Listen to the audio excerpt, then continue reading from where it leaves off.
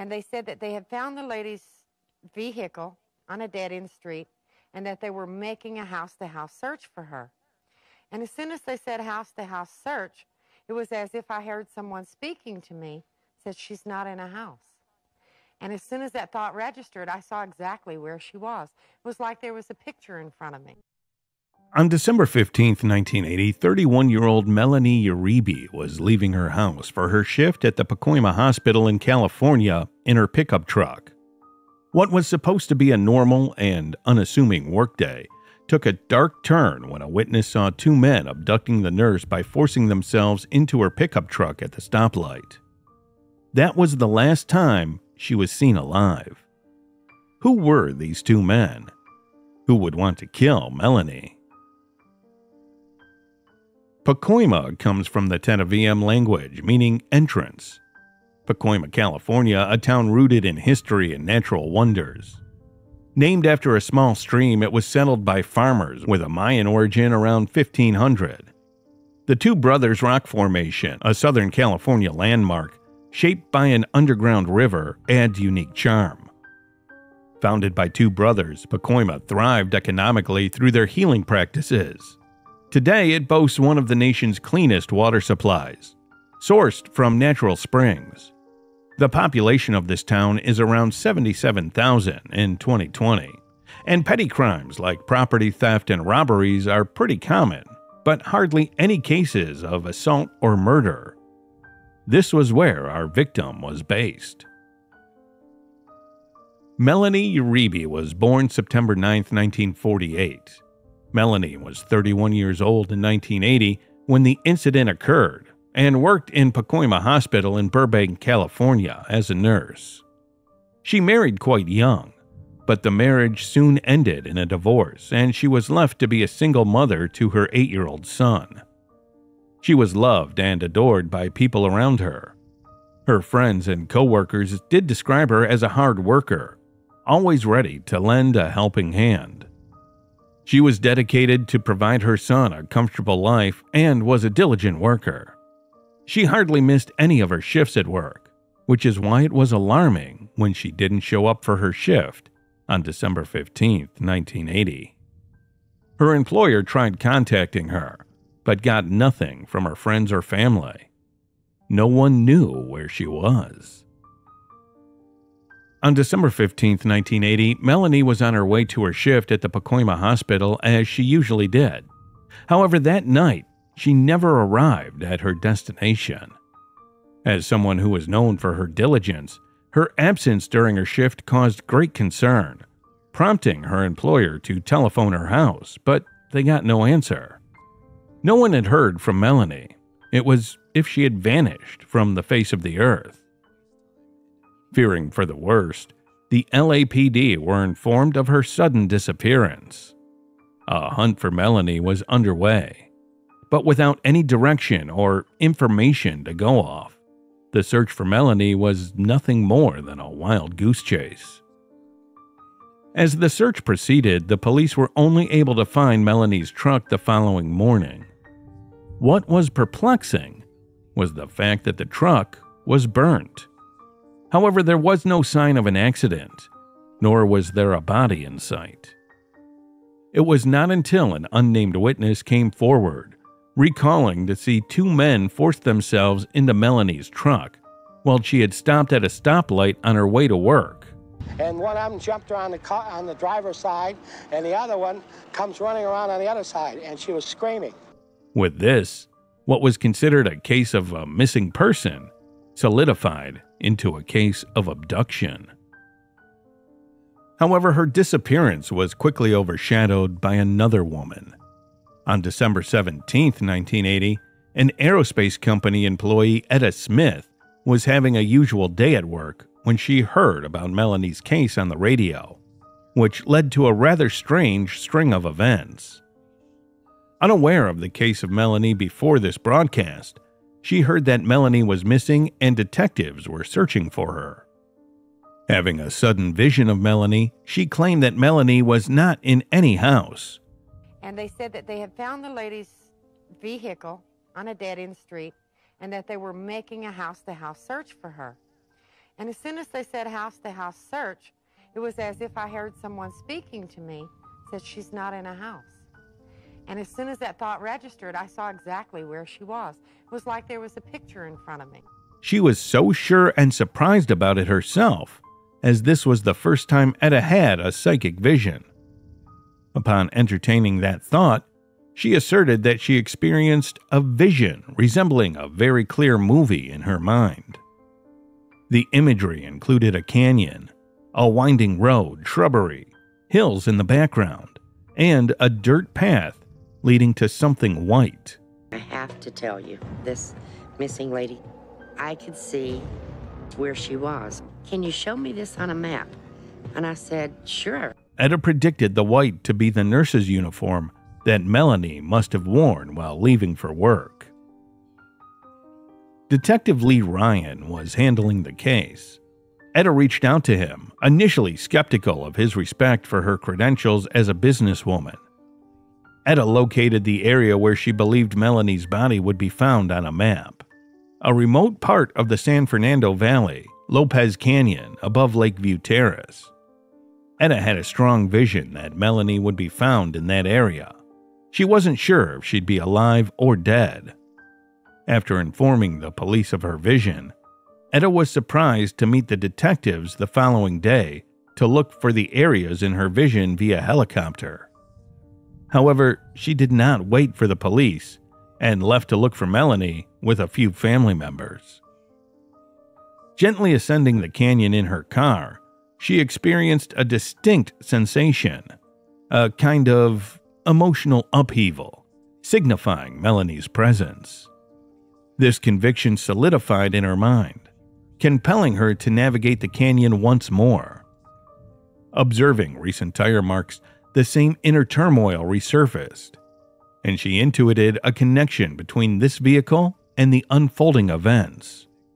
Progressing deeper into the canyon above Lakeview Terrace, they halted again when Etta's daughter spotted something unusual in the foliage. Etta, drawn towards it, encountered a figure clad in white nurse's shoes, mirroring the landscape from her earlier visions. The autopsy conclusively identified the body as that of Melanie Uribe, revealing a grim narrative of robbery, stripping, assault, and fatal assault. Etta's earlier vision, as she had recounted it, aligned with the forensic findings. Despite this confirmation, the perpetrators behind Melanie's tragic fate remained elusive.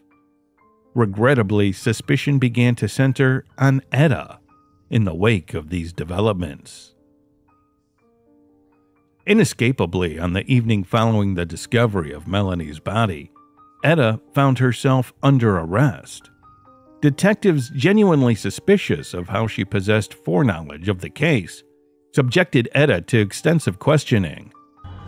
I don't think they're believing me. I kept telling them the same thing. After hours of interrogation, they administered a polygraph test. Despite successfully passing the test, the detectives informed her that she had failed. They said, You failed. With one detective providing sworn testimony alleging deceptive behavior, including an attempt to control her breathing. Law enforcement entertained the notion that if Etta wasn't directly implicated in the crime, her information might have originated from neighborhood gossip or someone privy to details, but unwilling to step forward. They speculated that her purported vision might have been driven by a desire for financial gain, while a more charitable interpretation could attribute her polygraph failure to the psychological impact of the traumatic vision and the subsequent search for the corpse, it still left her in the perplexing position of possessing detailed knowledge about the body's location with an improbable source. Consequently, the following morning saw her officially charged with murder. She was arrested on December 18, 1980, and was kept barefoot in a cell. She was given nothing to eat or drink for 24 hours and police hoped she would break and confess her crime. Etta was kept in holding for a total of four days. Not a letter, not a phone call, Nothing. They treated me like so much dirt that you kick out the door and the wind blows away. It was during these days that a witness came forward to the LAPD and confessed that he heard 21 year old Lewis Carnell Morgan, 21 year old Spencer Nelson, and an unnamed 17 year old man whose identity has been hidden due to his age, bragging about killing Melanie. They were arrested soon after and confessed to the crime shortly after that. Upon their confession, Etta Smith was released from custody. All of a sudden, somebody appeared at my cell door, unlocked it, and said, Come on, you're free to go. I didn't know why, didn't care why. I just wanted out of there. December 21st, 1980. The trio admitted to seizing an opportunity at a stoplight. The trio forcibly entered Miss Uribe's truck, steering her towards a desolate canyon 15 miles north from her home.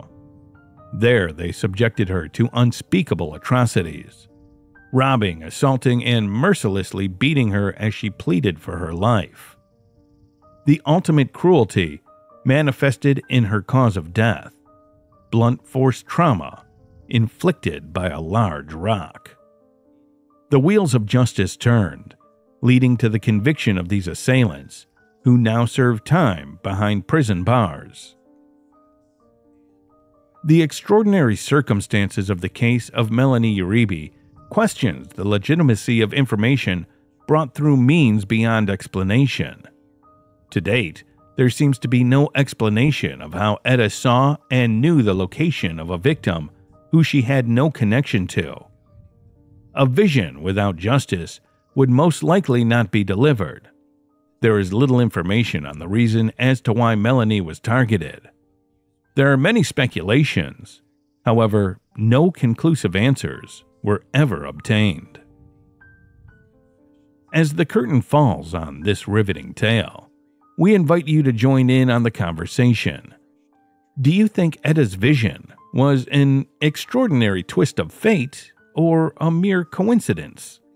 What do you think about the intricate dance between skepticism and intuition that unfolded in Melanie Uribe's case? Do you think that there is a place for psychics in police investigations? Let us know your thoughts in the comments. Your insights add depth to the narratives we explore.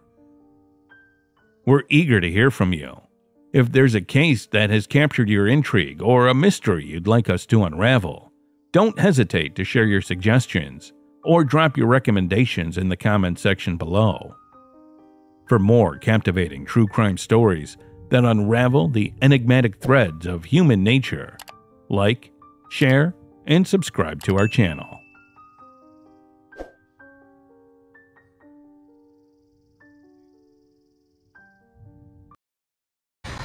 My name is Mario Martinez. I'm a police lieutenant with the Garden Grove Police Department and the Public Information Officer.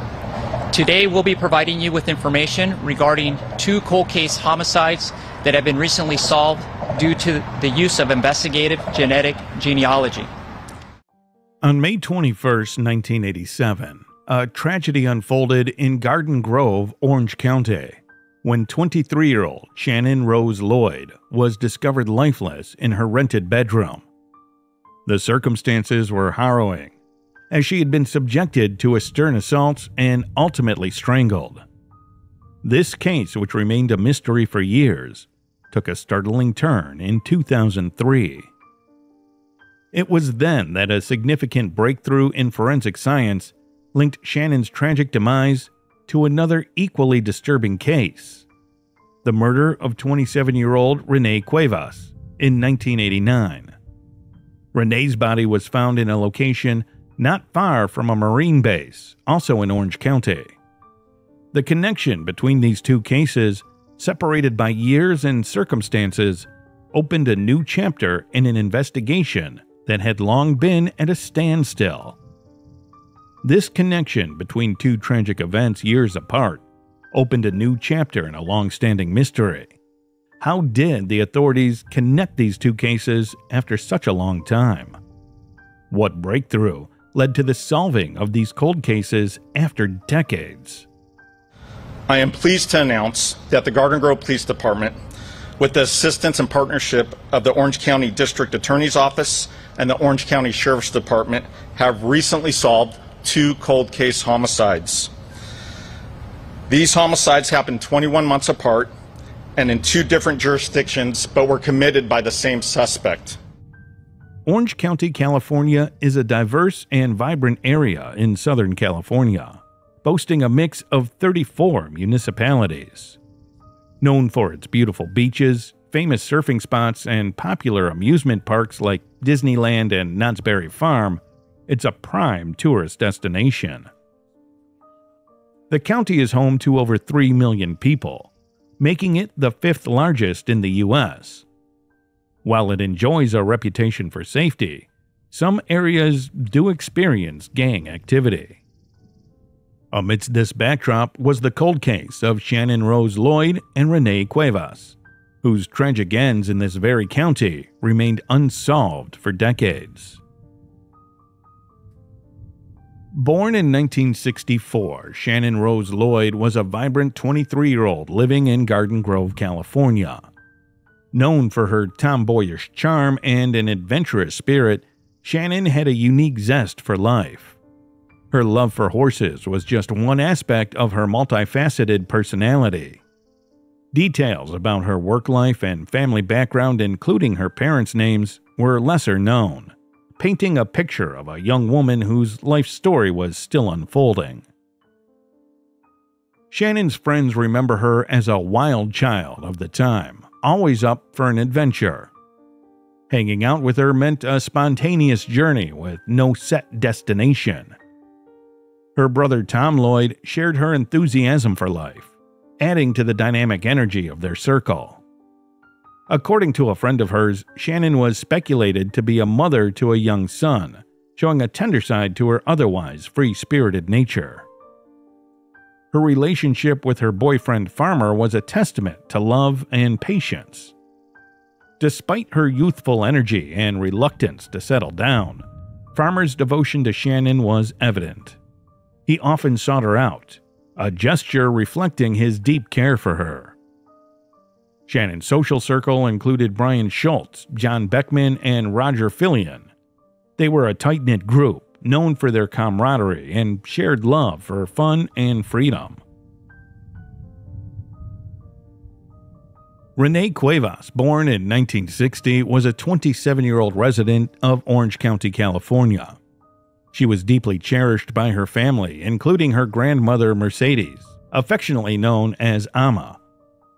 Renee's life was intertwined with her siblings, Michael, Kelly, Victor, and her sister Marlene.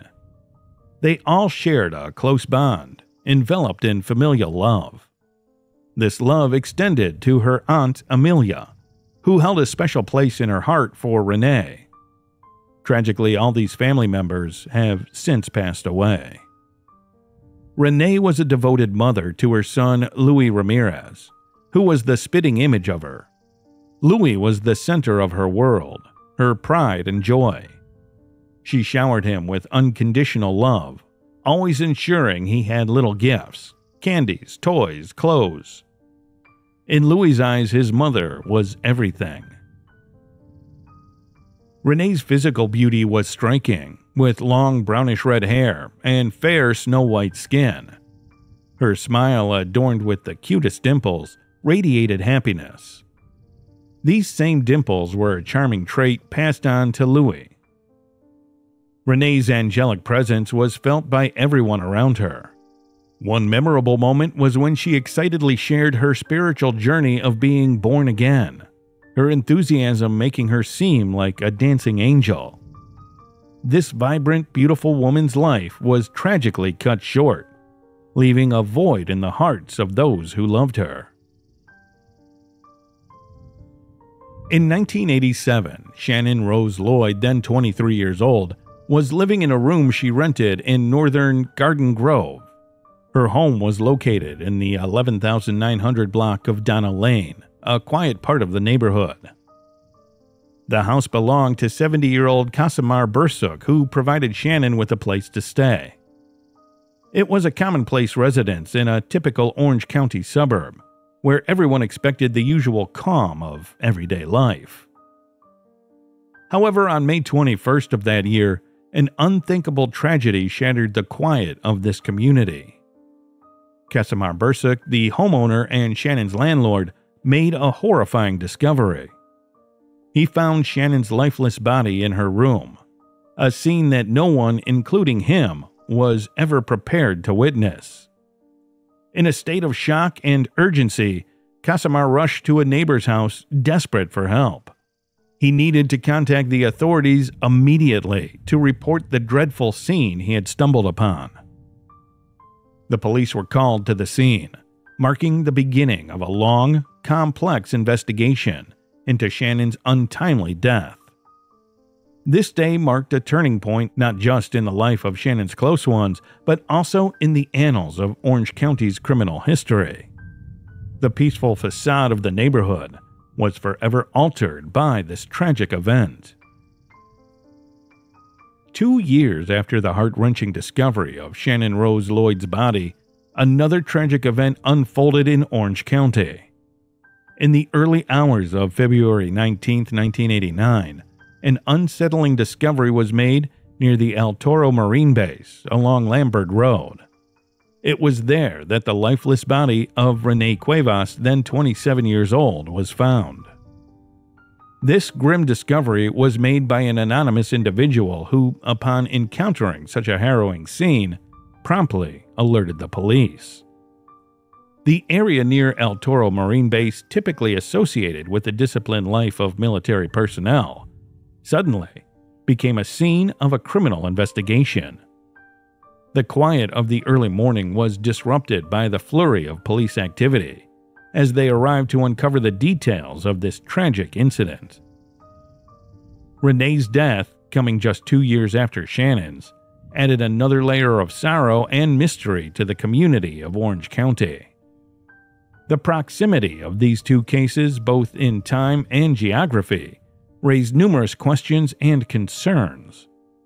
The serene and orderly environment of the area was once again overshadowed by the darkness of an unsolved crime, leaving the community and Renee's loved ones in a state of shock and grief.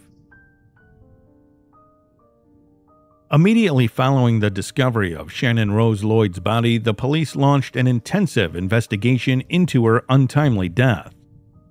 They soon uncovered the tragic details. Shannon had been inhumanely assaulted and strangled in her own bedroom. This revelation sent shockwaves through the community, adding a grim dimension to the already tragic event. Neighbors described Shannon as an attractive, petite woman, known to be a mother and to have a boyfriend who frequently visited her. However, they also noted that, occasionally, some less than reputable individuals were seen at her residence. This detail added complexity to the case, as it broadened the potential circle of people who might have been involved in or have knowledge about her final hours. Intriguingly, the police had been called to Shannon's residence on three separate occasions before, for reasons that remain unclear. Adding to the mystery, neighbors reported that burglaries were common in the area at the time. Yet in Shannon's case, there was no evidence of forced entry into the house, and no belongings appeared to be missing. This lack of disturbance at the crime scene suggested a perpetrator who may have been familiar with Shannon or her home. Despite these details, the investigation hit a dead end. Without any clear suspects or leads, Shannon Rose Lloyd's case turned cold. When Renee Cuevas' body was discovered, the police immediately began an investigation parallel to that of Shannon Rose Lloyd's case. The circumstances surrounding Renee's death bore a chilling resemblance to Shannon's. She too had been inhumanely assaulted and strangled. This horrifying similarity suggested a pattern an alarming thought for the investigators and the community alike. Despite the earnest efforts of the police, the investigation into Renee's death encountered significant challenges. Like Shannon's case, there were no clear leads or suspects to pursue. The lack of evidence and witnesses left the police with few avenues to explore. This absence of concrete information made it increasingly difficult to piece together the events leading up to Renee's tragic demise. As time passed, the momentum of the investigation slowed. The clues that were available led to dead ends, and the trail of the perpetrator grew cold. In a remarkable turn of events, the year 2003 brought a significant breakthrough in the cold cases of Shannon Rose Lloyd and Renee Cuevas. The persistence of law enforcement led to the reinvestigation of Shannon's case, nearly two decades after her untimely death. This time, with advances in forensic technology, the DNA evidence found at the crime scene was uploaded to CODIS, the Combined DNA Index System this system, a national database for storing DNA profiles, provided a new hope in solving these long standing mysteries. The CODIS results delivered a shocking revelation. The DNA from Shannon's case matched the DNA from Renee's murder. This discovery confirmed a grim reality. The same individual was responsible for both crimes. In 2003, the Orange County Crime Lab conducted forensic testing on evidence found at the scene, and a male DNA profile was collected. It was at this time that male DNA profile was also a match to a suspect DNA profile found at the scene of a 1989 Orange County Sheriff's Department cold case homicide. The victim in that case was 27 year old female Renee Cuevas. However, even with this crucial piece of evidence, the identity of the killer remained elusive. The DNA did not immediately lead to a suspect, leaving the investigators with more work to do. The breakthrough finally came in 2021, almost two decades later, when the DNA evidence from both cases was subjected to forensic genetic genealogy. This cutting edge approach, which combines DNA analysis with genealogical research, opened a new chapter in the investigation. From this intricate process, investigators were able to identify a potential suspect. In 2021, the cases were submitted to the Orange County District Attorney's Office, investigating genetic gene- genealogy unit. This team of scientists and investigators were able to identify a possible suspect, Reuben J. Smith. Reuben J. Smith, the perpetrator behind the tragic cases of Shannon Rose Lloyd and Renee Cuevas, was born on December 11, 1959. He originated from the state of Michigan, a place far removed from Orange County, where his heinous crimes would later unfold.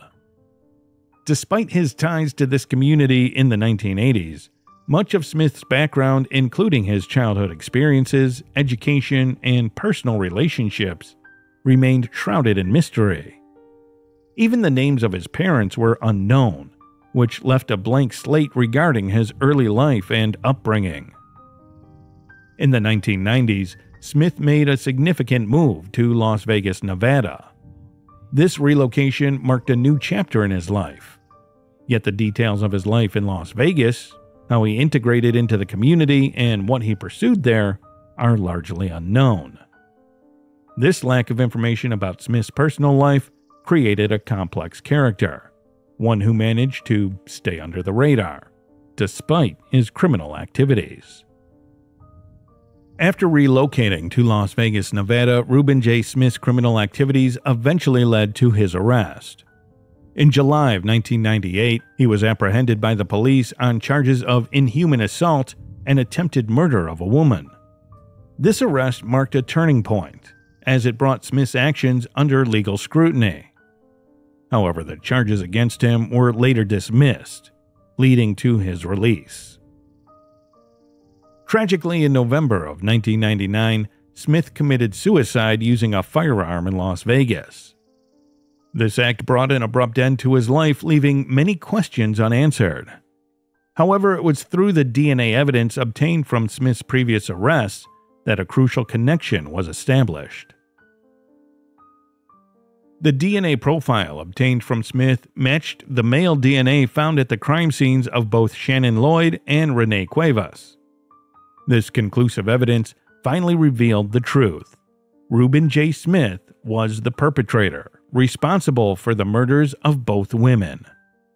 The confirmation of Smith's involvement in these heinous crimes brought a sense of closure to the long standing mystery surrounding their deaths.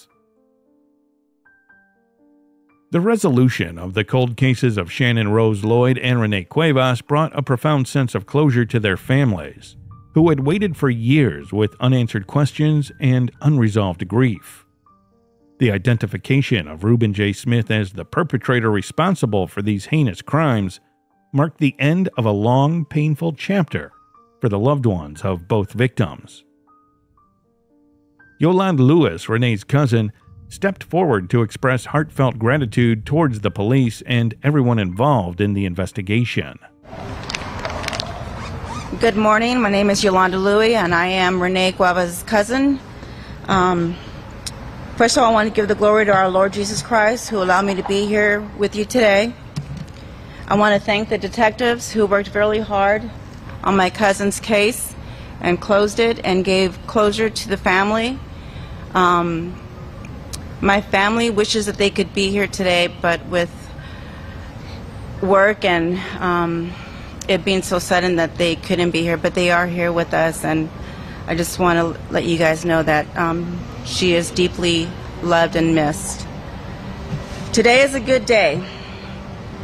Um, the men and the women working so hard brought restoration and peace to our family. I will not speak about the individual whom took the life of my cousin Renee, but rather share her life with you. One of my memories of Renee is when she came to our home, she had this white book with her and claiming to have been born again. She was so excited about that, she appeared like a dancing angel to me. Now that I'm older, I am born again too, and I'm excited just as she is. If I could speak with my cousin again, I would tell her how sorry I am. I would make her laugh so I can see her beautiful dimples. Someday I will get a chance again to hug you and to tell you I love you. Save a place for me in heaven. The Garden Grove Police Chief, Amir El-Farra, also gave out his statement. Many live with sadness, anger, agony, and grief. Many have questions and wonder why their loved ones were taken away from them. We hope that these cases being solved somehow bring some closure to their families. In closing, I would like to thank the Orange County Sheriff's Department, the Orange County District Attorney's Office for our partnerships and willingness to solve these cases. I truly believe these cases were solved due to our work and dedication from our detectives from all three agencies and the use of the Investigative Genetic Genealogy Unit. As we close the chapter on the cold cases of Shannon Rose Lloyd and Renee Cuevas, two critical questions come to mind. Could anything have been done differently to solve these cases sooner? And what lessons can we learn from their stories to aid future investigations? We invite you to share your thoughts in the comments. And if you have a case in mind that you'd like us to explore, please don't hesitate to drop your recommendations in the comment section below. For more captivating true crime stories, remember to like, share, and subscribe to our channel. Your engagement helps us delve deeper into these complex cases and bring untold stories to light.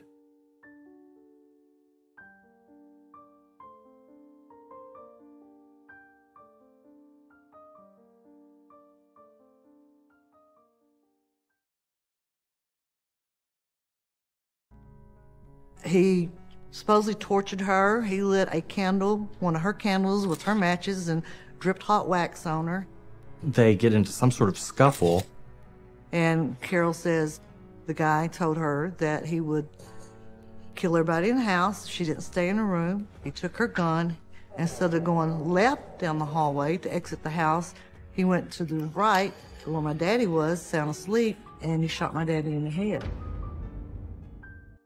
On September 22, 1985, a 51 year old construction worker in Houston, Texas, Roy Joe McCaleb, was shot in his room by an unknown intruder who also assaulted his wife Carolyn and then shot him in the head as he slept. This was the story police believed for 23 years, until the tables were turned to reveal the most mind boggling mystery of the decade.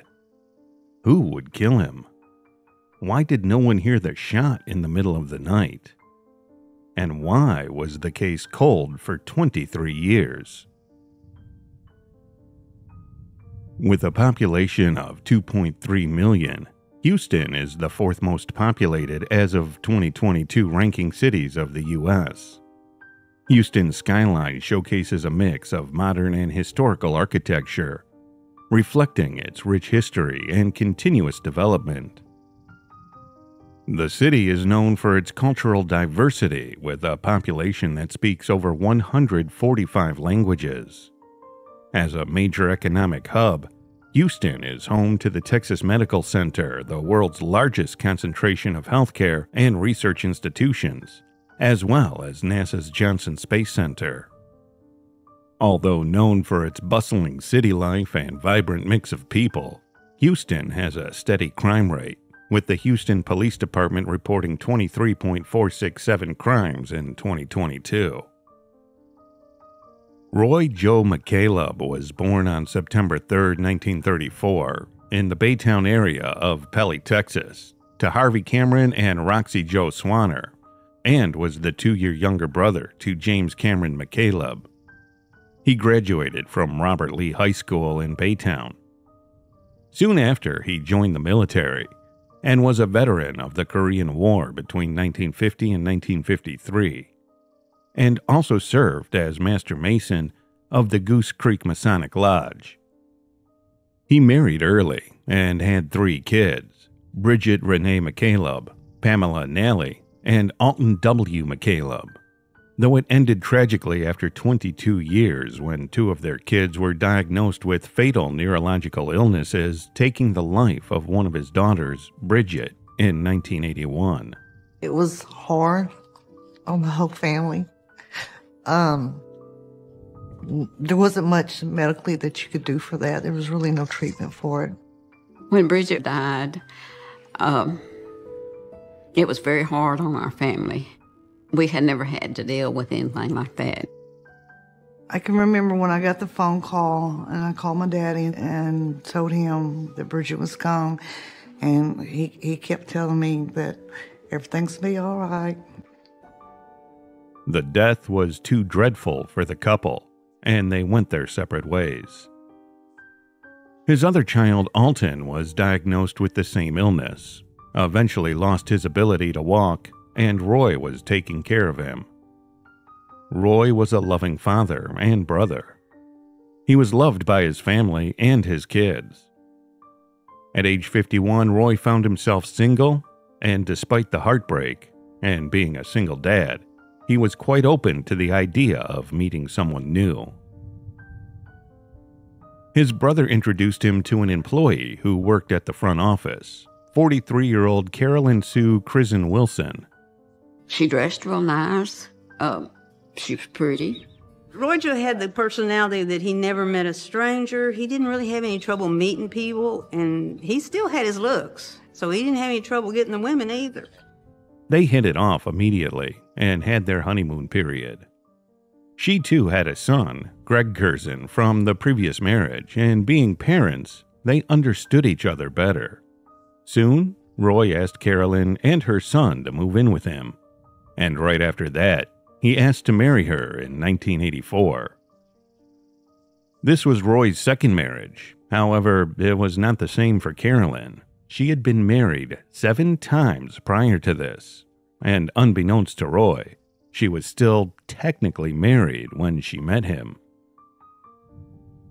They both were married and everything looked fine However, Carolyn didn't get along with Roy's kids, specifically his son Alton, who had trouble walking due to his neurological condition.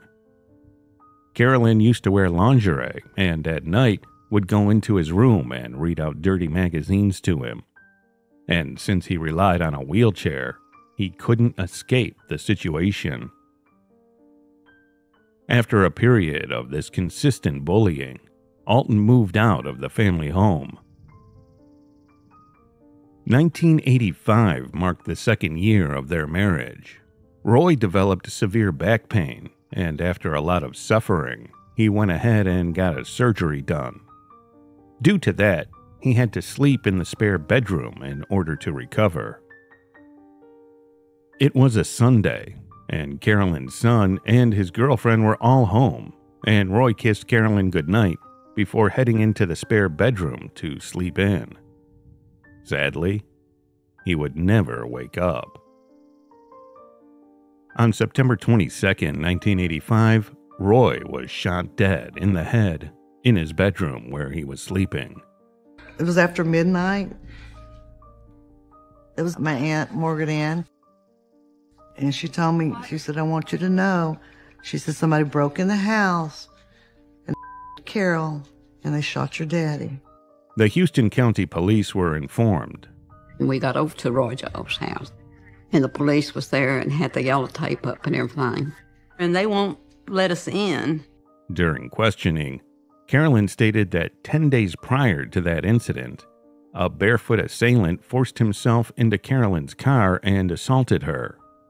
Carol said that she was on her way to work one day and she was a couple of blocks from the house. At a stop sign and a man just jumped in her car and uh, made her drive down to a, a park somewhere near their house. And She claimed she didn't tell anybody because she didn't want to upset my father. When asked about sharing the incident with her husband or reporting it, she stated that he was recovering from a back surgery and a heart attack and didn't want to bother him too much, so she kept it to herself. Continuing her story, she said that the same intruder entered her house on the night of September 22, 1985, from the back door. He assaulted her at knife point while scraping her with a wire hanger and dripping hot wax on her, following which he proceeded to go over to Roy's room, used a 38 caliber revolver that Carolyn kept under her pillow, and shot him. He accidentally dropped the gun when they collided, and Carolyn rushed and grabbed it and shot him twice as he fled the scene, which explained the gunpowder residue on her hand when the Houston police were called. The crime scene was sealed off, and the police took statements, collected evidence, photographed everything, and began the manhunt. She said she kept a gun underneath her pillow and she pulls out the gun to, uh, you know, presumably stop the. He grabs the gun. He's holding a knife to her throat while he's sexually assaulting her. He supposedly tortured her. He lit a candle, one of her candles with her matches, and dripped hot wax on her. They get into some sort of scuffle. And Carol says the guy told her that he would kill everybody in the house. She didn't stay in the room. He took her gun. Instead of going left down the hallway to exit the house, he went to the right to where my daddy was, sound asleep, and he shot my daddy in the head. And she said that when she heard a gunshot, she jumped up and ran in the hallway and they bumped into each other. He dropped a gun and then she fires three shots after him. But some things were definitely strange. The incident happened at night, and considering Carolyn's son and his girlfriend were in the house, how did they not hear any commotion or the gunshot? And as Carolyn stated that a random stranger assaulted her in the car, how did the same intruder follow her here and know her address as well? Carolyn also refused to take the polygraph test and also took a bath after the incident when she was specifically told not to. She even skipped the hospital examination. Additionally, in her retelling of the incident, she claimed that her assailant broke into the house. However, when investigated, police found no signs of forced entry. These questions haunted the police too, After not finding any lead or enemies that could have a potential motive, police turned towards Carolyn. In most cases, a spouse is always the suspect. Though most evidence was behavior based, and the police had nothing solid to follow through, eventually the case would go cold for 23 years. For months, there were no leads, despite Roy McCaleb's daughter Pamela diligently reaching out to the DA each year in hopes of updates. There were no breakthroughs over the years in the pursuit of her father's killer. However, in 2008, nearly 23 years later, the case experienced a significant turn of events. The breakthrough was made possible through persistent efforts from Roy's daughter Pamela, two Texas Rangers, and District Attorney Ken Magidson, who ultimately chose to advance the case. Suspicions, ongoing background checks, and revelations that unfolded over the years played a crucial role in cracking the case wide open. Questions arose regarding the $198,000 life insurance policies that were taken out before Roy's death, which his wife had attempted to claim, which she did not receive, and Roy's family put a pause on it, eventually only getting $19,000 out of the policy. She had taken out a pretty substantial amount of life insurance on Roy without his knowledge. But I was told it was for $240,000. There were also inquiries into her seemingly composed demeanor after reporting her husband's murder, and puzzlement about how her son remained undisturbed during the intruder's alleged assault on his mother. Carolyn changed her statement about the perpetrator being a white male and later confessing that he was black. She shrugged it off by saying she was embarrassed to mention his race. The inconsistencies were glaring. Despite the alleged commotion, none of the neighbors heard anything, and there were no witnesses of a man entering or leaving the couple's North Shore home. Additionally, Carolyn initially described the man who assaulted her to be white, but claimed that he was black in later interrogations. Testimony from some of her previous six husbands shed light on her ability to switch from a sweet and lovable persona to a money driven individual when her true nature was revealed. Despite this, the evidence remained circumstantial, lacking witnesses and any tangible connection between her and the shooting. At the time of the incident, she had, against police advice, washed away Roy's blood that had seeped into her nightdress as she held him. They find blood on it, but not her blood or an assailant's blood. It's blood spatter, and it's Roy McCaleb's blood. Even when accused of her husband's murder, Caroline insisted that her mysterious intruder was the culprit, maintaining her innocence and portraying herself as a victim. However, the Texas Rangers pressed her for a motive, questioning why the alleged assaulter would have killed Roy McCaleb. When confronted with this inquiry, she struggled to provide a plausible answer. Due to all evidence being circumstantial, the case dragged on for months, then years, ultimately, with the trail going cold. Despite this, the Houston Police Department Sergeant Mike Peters and Roy's daughter Pamela continued their unrelenting efforts to reveal the truth. After 23 years, the case was finally taken to court again in 2008, when 71 year old Carolyn was charged with the murder of Roy Joe McCaleb. After the arrest, Carolyn's attorney, James Stanford, made the claim that the accused had suffered from dementia, Alzheimer's, and other health issues.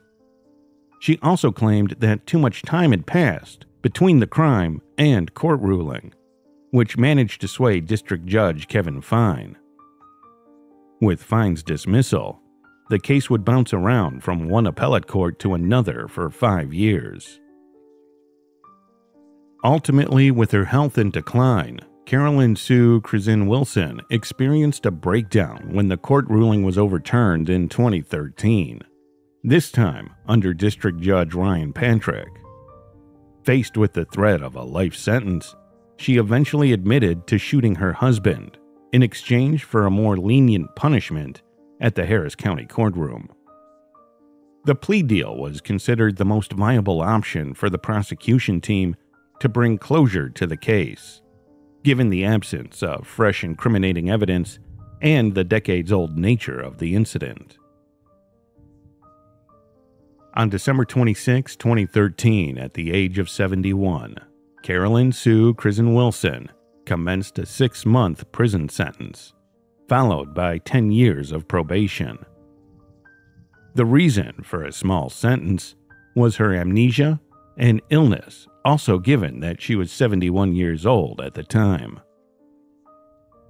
While the initial perception of the sentencing seemed lenient, considering Krizan Wilson's health issues, Roy McCaleb's family finally attained the closure they had sought. After suspecting the truth for a prolonged 28 years, they had persistently sought for Carolyn's conviction in the cold blooded murder of Roy Joel McCaleb. Roy McCaleb's family had finally achieved the closure they wanted. They had long suspected the truth and fought tirelessly for 28 long years for Carolyn Sue Krizan Wilson to be convicted for the callous murder of Roy. However, while the family wasn't fully satisfied with the judgment, it was still relieving to see the woman who destroyed their family finally behind bars. As we conclude this gripping true crime journey, we invite you to reflect on the tragic tale of Roy McCaleb and the shocking revelations surrounding his murder. Do you think justice was served in Carolyn Sue Krizan Wilson's case? What do you think about the complexities that unfolded over 28 years? Let us know your thoughts in the comments. Your insights add depth to our discussions and if there's a particular case you'd like us to explore next. Share your suggestions in the comment section below. We value your input.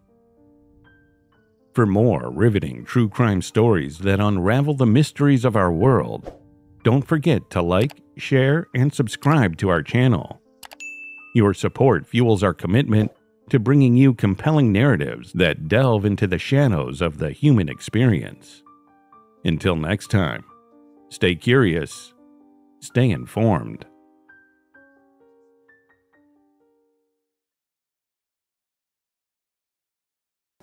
Radio Canada has learned police in Ontario recently cracked a murder cold case that goes back nearly 50 years. Ontario Provincial Police identified a woman whose body was found in a river near Ottawa in 1975. On May 3, 1975, a startling discovery was made near the Nation River, just south of Casselman, about 55 kilometers east of Ottawa. A local farmer, while inspecting the rear of his property, stumbled upon a tragic scene the remains of a woman laying face down in the water. This was near the Highway 417 bridge, a quiet area not known for such grim findings. Without delay, the farmer alerted the police, who quickly responded by arriving at the scene. This marked the beginning of a long standing mystery that would puzzle investigators for decades. Who was the woman whose remains were discovered by the river? Would the farmer or the locals be holding vital clues that could lead to who she was? Ottawa a city where whispers of history echo along the Whispering Wall, blooms vibrantly with the Tulip Festival, and uncovers Cold War secrets at the Diefenbunker. It is a culinary haven from beaver tails to shawarma, surrounded by a green belt and crowned by the Rideau Canal's icy ribbon in winter. A city of firsts from Bitcoin, ATMs to innovative apples, Ottawa is a blend of bilingual education, tech innovation, and architectural marvels, reflecting a lively tapestry of culture, history, and modernity. Ottawa maintains a relatively low crime rate, making it a safe and appealing place to live. However, in 2023, this serene city and its thriving social circles were briefly stirred by the resolution of a cold case that had been unsolved for over half a century. In the quiet expanse of rural Ottawa, a chilling discovery was made on May 3, 1975.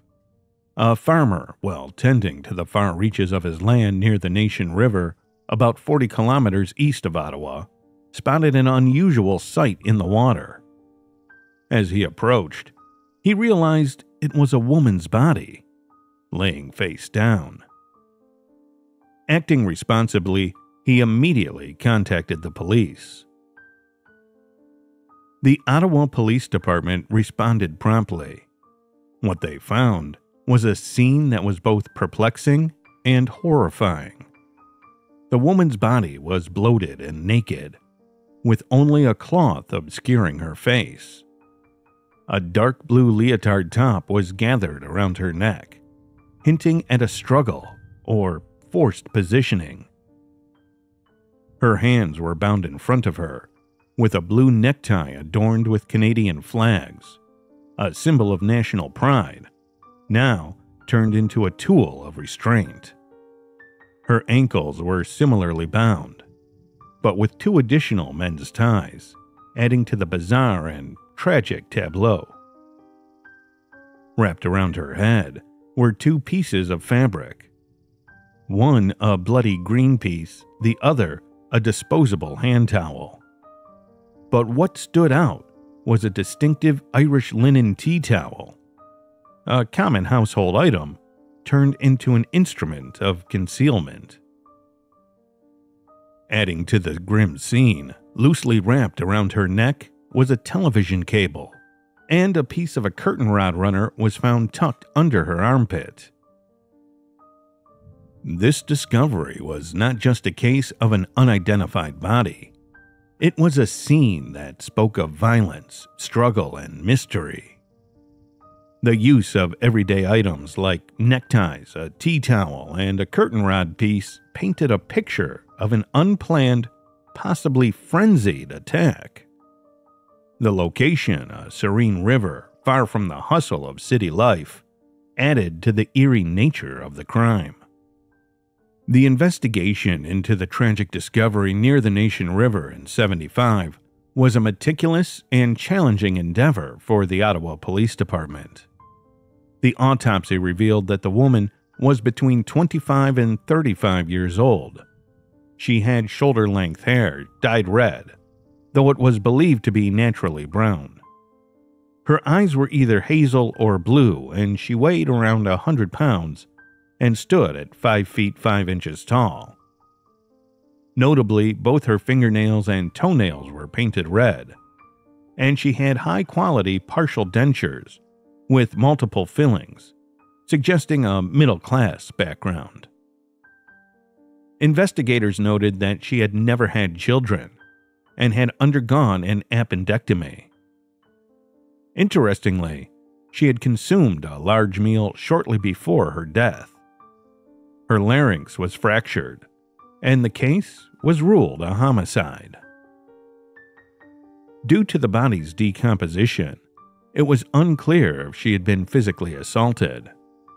It was estimated that her body had been in the river for one to four weeks, placing her time of death between April 5th and April 26th.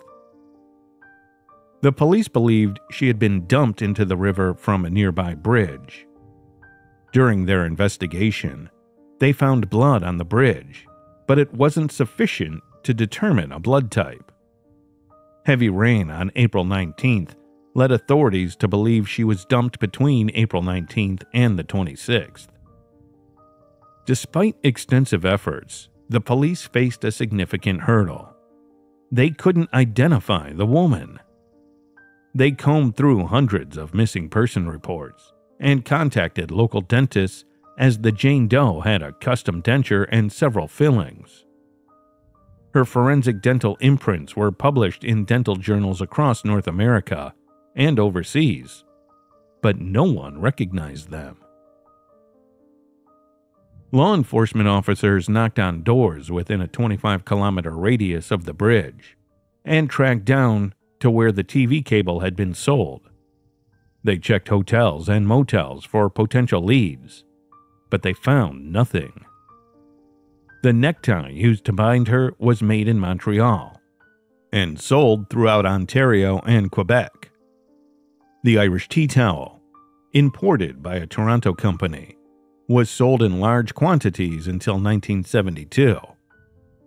Yet none of these leads brought them any closer to her identity. The questions of her origins remained a mystery.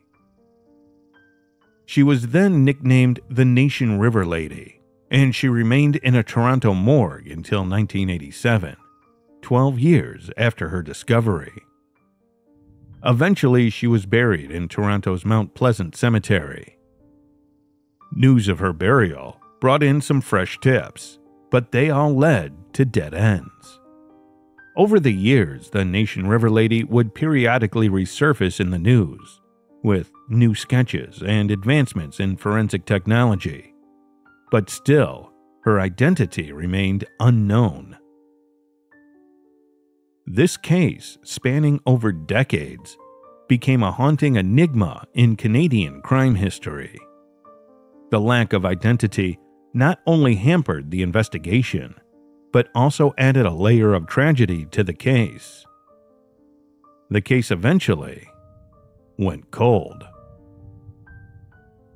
For years, the identity of the Nation River Lady remained a mystery, a cold case that seemed destined to remain unsolved.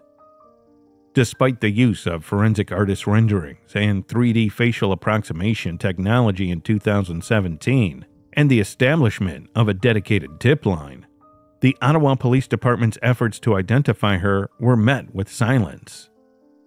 The case, which had haunted the community and baffled investigators, seemed to be at a standstill. However, a significant breakthrough came in 2019. In a collaborative decision with the chief coroner and the Center of Forensic Science in Toronto, authorities made the pivotal choice to exhume her body to obtain a new DNA profile. This decision marked a turning point in the investigation.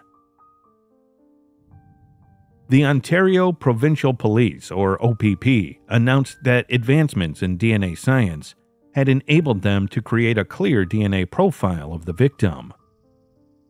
In 2020, a critical step was taken when investigators shared the victim's DNA samples with the DNA Doe Project, a laboratory in the United States specializing in forensic genealogy.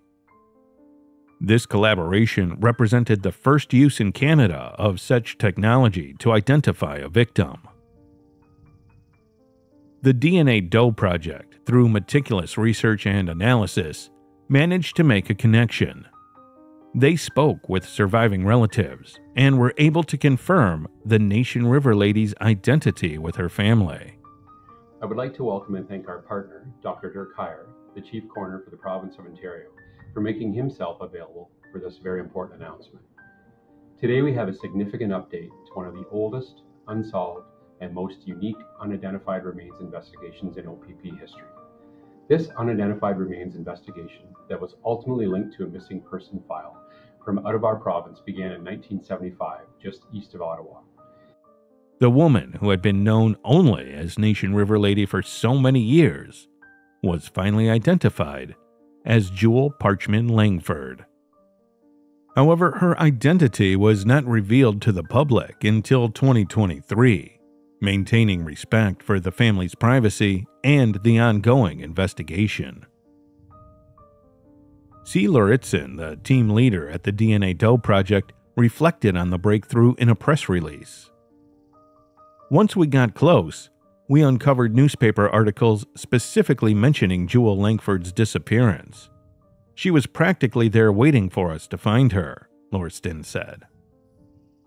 This statement underscored the significance of the discovery, not just as a technological triumph, but as a poignant moment of closure for those who had long sought answers. In a further development, the police announced that they had a suspect in custody responsible for Langford's death. The suspect was named Rodney Nichols. Jewell Lala Parchman Langford, born on March 30, 1927, in Tennessee, USA, was a remarkable figure in her community.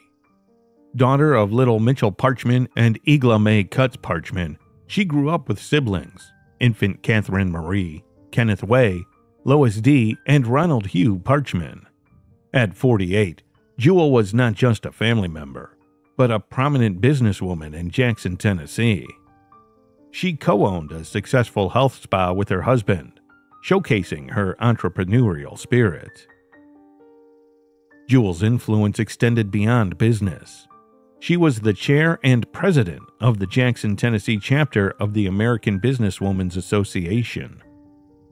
Her leadership and mentorship were widely recognized, earning her the title of Woman of the Year in 1971. Her colleagues admired her enthusiasm and innovative approach. In April of 1975, Jewell traveled to Montreal and never returned, leaving a void in her community and family. Her disappearance was reported by her family in Tennessee, who spent years searching for her. Tragically, her mother and family passed away without knowing what had happened to her. Rodney Mervyn Nichols, an 81 year old man, found himself at the center of a decades old cold case. Arrested in Hollywood, Florida on July 25, 2023, following a request by the Ontario Provincial Police, Nichols' past finally caught up with him. He confessed to the murder of his girlfriend, Jewell Parchman Langford, nearly 50 years after the crime. Driven by a need to come clean, as revealed in federal court documents. Nichols' confession came after a telephone consultation with a legal aid lawyer in Canada. He admitted to an altercation with Langford in his Montreal home, which tragically ended with him dumping her body in the Nation River. His confession marked a stark contrast to his initial interactions with the police. Back in June of 1975, Nichols had spun a web of lies. He told investigators that Langford, intoxicated, had plans to travel across Canada. Despite his pleas for her to stay, she was gone the next morning. He even claimed to have received a phone call from her, promising to return for his birthday.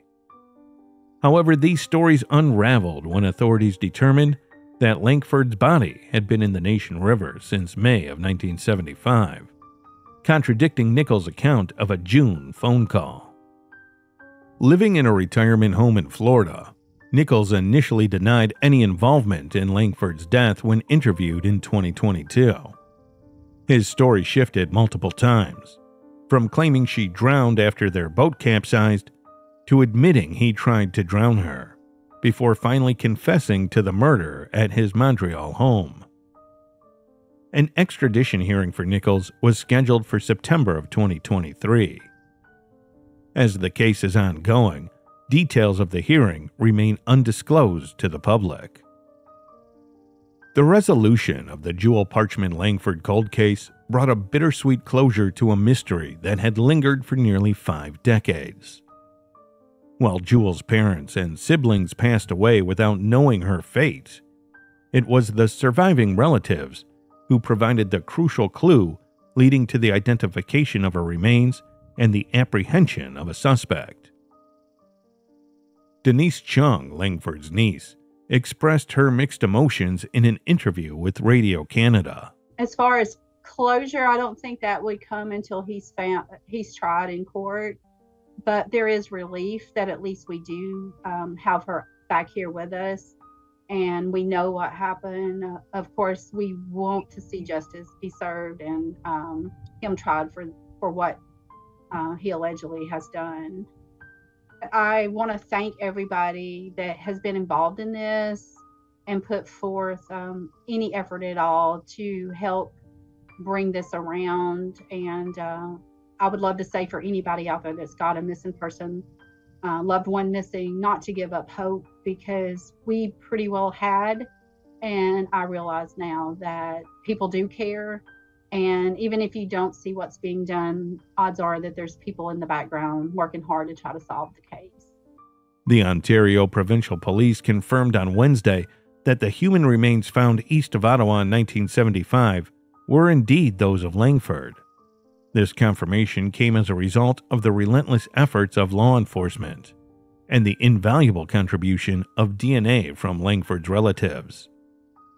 Chung and her family had been aware of this breakthrough since 2020, when their DNA played a pivotal role in cracking what Deputy Commissioner Marty Kearns described as one of the oldest unsolved and most unique unidentified remains investigations in OPP history.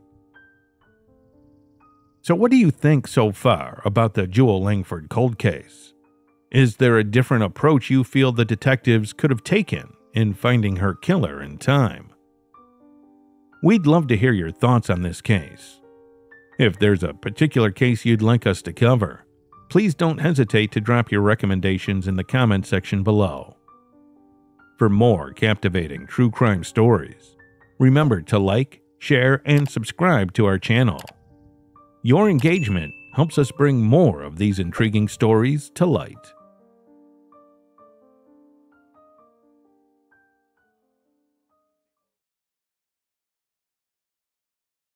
On December 25th, 2017, in the shallow inlet Sandy Point, Australia, a snorkeler found some skeletal remains, devoid of identity. After informing the local authorities, the case led to the Victorian Institute for Forensic Medicine. As details emerged, a male, aged 21 to 37, 170 centimeters tall, radiocarbon dating from 1666 to 1942, the mystery deepens. DNA databases offered no matches, fueling a forensic genetic genealogy venture. The breakthrough unveils tantalizing clues about Sandy Point John Doe's past. How does one grapple with history hidden beneath the waves? And, in the festive season's broad daylight, how did a mystery stretch across decades? Sandy Point is a township in South Gippsland, Victoria, near Wilson's Promontory. Sandy Point stands out as the perfect destination for a laid back summer holiday, particularly if you're accompanied by little ones. Devoid of high rise buildings and commercial developments, it transports you to a more serene era, providing an excellent opportunity to truly rejuvenate, reconnect, and unwind. In the 2016 census, the population of the city was around 270, but it grew to thousands during the holiday time. The crime rate is close to zero and is usually considered a very safe space even for travelers. On Christmas Day in 2017, a snorkeler found some skeletal remains at Shallow Inlet, Sandy Point, Victoria. Little did he know it would initiate an investigation into a 95 year old mystery. Skeletal remains bare of tissue, clothing, or personal effects were discovered on the ocean floor. With no contextual information or clues to the individual's identity, the Victoria Police reported the death to the coroner, leading to the transfer of the remains to the Victorian Institute for Forensic Medicine, or VIFM. As the VIFM's team of experts conducted scientific tests, they gleaned insights into the characteristics of the unknown person. The forensic anthropologist deduced that the remains belonged to a Caucasian male, aged somewhere between 21 and 37 years old, standing at approximately 170 centimeters tall. Delving into dental restorations, the forensic odontologist hinted at the intriguing possibility of an overseas origin from history. The Victorian Institute for Forensic Medicine launched a pilot program to harness forensic genetic genealogy, aiming to solve multiple Australian cold cases, collaborating with Othram, Othram employs an integrated approach, combining laboratory science, software development, and streamline processes to strengthen the justice system's infrastructure. Their technology aids law enforcement at various levels in the United States and internationally, enabling breakthroughs in forensic DNA analysis for previously unsolved cases. Notably, Othram conducted all casework related services in house, emphasizing control and efficiency. Othram forwarded forensic evidence to their laboratory located in the woodlands in Texas. The revelation unfolded that the remains were those of Christopher Luke Moore, a World War I veteran, and a farmer in the Gippsland region who tragically drowned in Waratah Bay in 1928. In the weeks following his drowning, a Sandy Point farmer made a surprising discovery at Shallow Inlet. Upon closer inspection and the identification of unique dental work, Christopher's father confirmed that the mandible belonged to his son. This confirmation was officially recognized during a subsequent coronial inquest held on January 24, 1929. The remains discovered in 2017 were conclusively identified as additional remains of Moore. This confirmation came through a grandniece who verified that he had drowned in 1928 and the family had buried his mandible. A number of Australian investigators from the VIFM and other Australian police forces, working with the help and mentorship of Dr. Colleen Fitzpatrick, took on the case. After engaging Othram to sequence DNA from the remains, they conducted genealogical research that eventually led to the identification of Sandy Point John Doe as 29 year old Christopher Luke Moore a local farmer and World War I veteran who had drowned in 1928. Despite the earnest efforts of his grief stricken father, Cornelius Ignatius Moore, the body was never recovered. During a visit to Waratah Bay with his parents, Cornelius and Charlotte, brother Francis, wife Elizabeth, and his daughter Mary, Mr. Moore disappeared beneath the waves, leaving an indelible void. Miraculously, a fortnight later, on January 15, 1929, a lower jawbone, confirmed through dental records to belong to Mr. Moore, washed ashore, approximately six kilometers from the site of the drowning. The remains found a final resting place in the Moore family plot at Meeniyan. Over the years, Cornelius and Charlotte joined their son in 1939 and 1946, respectively followed by his wife Elizabeth Agnes in 1985. More recently, his daughter was laid to rest alongside them. Kathy Hogan, the great niece of Christopher Moore, spoke on Gippsland ABC Radio, expressing her appreciation for the exceptional work done by the Victorian Institute of Forensic Medicine team in solving the mystery and providing closure for the family. In her radio interview, Miss Hogan shared that her knowledge of the tragic story was initially limited, learning from her mother that Christopher had gone missing and the family was uncertain about the circumstances. Now, with the investigation's findings, they have a comprehensive understanding of the events.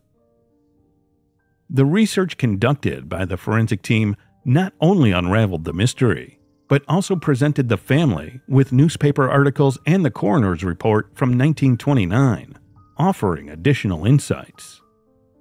Miss Hogan described the emotional yet fascinating experience of discovering the complete story. After six years of investigations, the family is finally able to lay Mr. Moore to rest. This allows Mr. Moore to be reunited with his family including the jawbone originally found in 1929. Fiona Leahy, a member of the Victorian Institute of Forensic Medicine's team, shared the exhaustive efforts made to solve the century old mystery. She highlighted the initial challenges in identifying the person based on skeletal remains in 2017. However, through DNA analysis and odontology, they pieced together significant details about Mr. Moore's identity including his Northern European ancestry, likely blue eyes, dark hair, and specific dental features. This information played a crucial role in narrowing down the historical research and identifying the individual who had drowned in the bay. As we conclude this riveting journey into the mystery surrounding Sandy Point John Doe, we leave you with two lingering questions. Do you think the use of forensic genetic genealogy is a groundbreaking leap in solving cold cases? And what do you think about the collaborative efforts that brought Christopher Luke Moore's identity back to light? Let us know your thoughts in the comments below. We're eager to hear your insights and theories about this incredible case. If you have a particular case you'd like us to delve into next, drop your recommendations into the comment section. Your suggestions could be the key to unlocking the next compelling mystery. Your engagement means the world to us. For more captivating true crime stories and to stay updated on our investigations, don't forget to like, share, and subscribe to our channel. Until next time, stay curious, stay vigilant, and keep exploring the mysteries that shape our past. Thank you for joining us on this fascinating journey.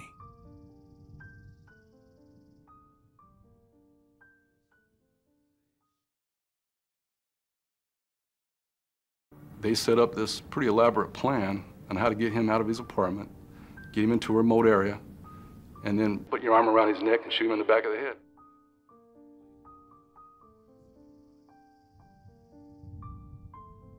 On the evening of December 23, 1998, a 911 call in San Diego led firefighters to a startling scene on La Jolla Scenic Drive. 911 emergency. Yes, we just heard a huge boom, like a gas explosion or a car blew up or something. They found a car engulfed in flames. As the smoke cleared, a horrifying sight emerged the charred remains of someone in the passenger seat. The car bearing Kansas license plates was registered to 38 year old David Stevens from Pacific Beach, San Diego. This grim discovery marked the beginning of a mysterious case. Who was David Stevens? And what led to this tragic event along one of San Diego's most scenic routes?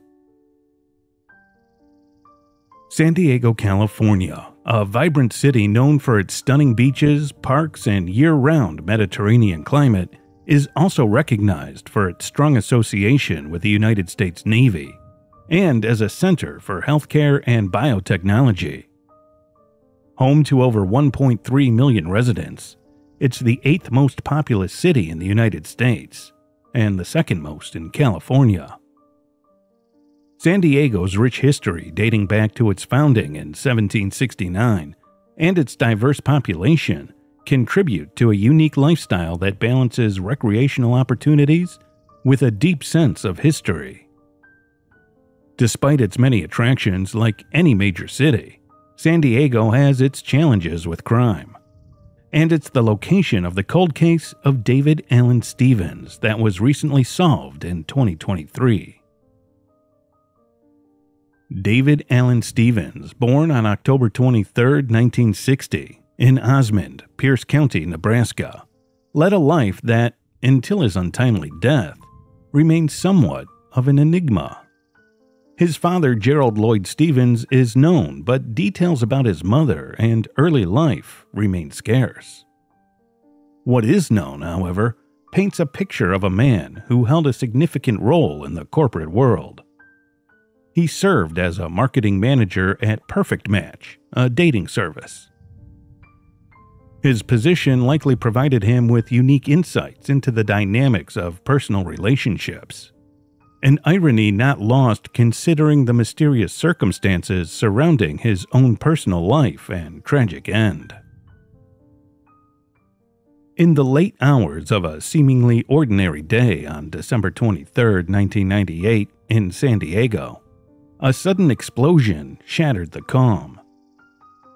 Witnesses reported a loud boom, reminiscent of a gas explosion, prompting an immediate response from the San Diego Fire Department. They rushed to La Jolla Scenic Drive, where they encountered a vehicle consumed by flames. As firefighters battled the blaze, a journalist captured the scene, recording as the fire was extinguished.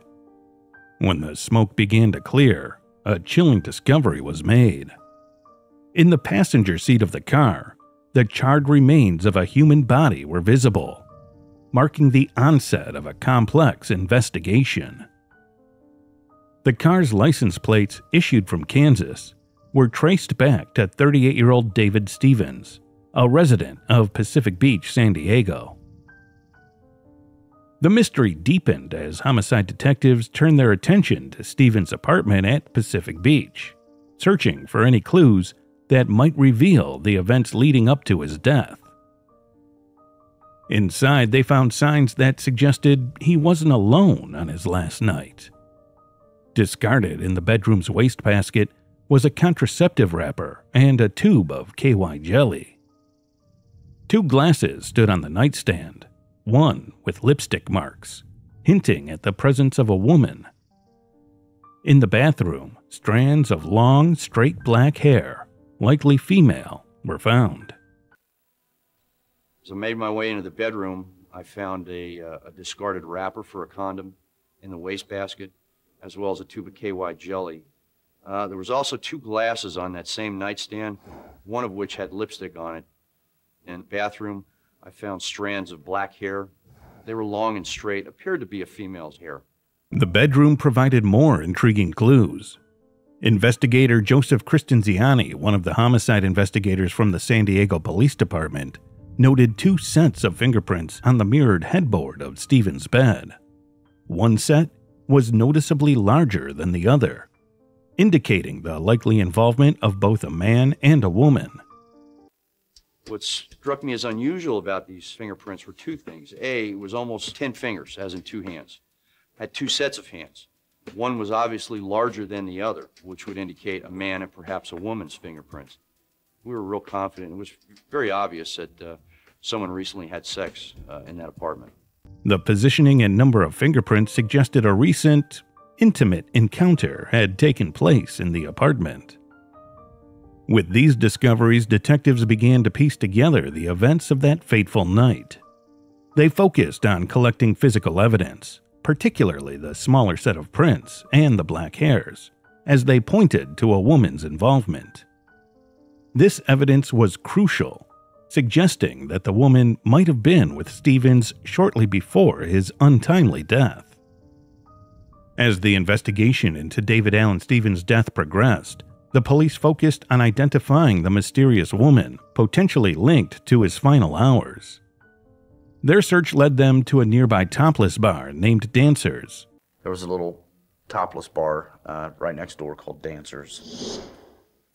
And we would go there two or three times a week.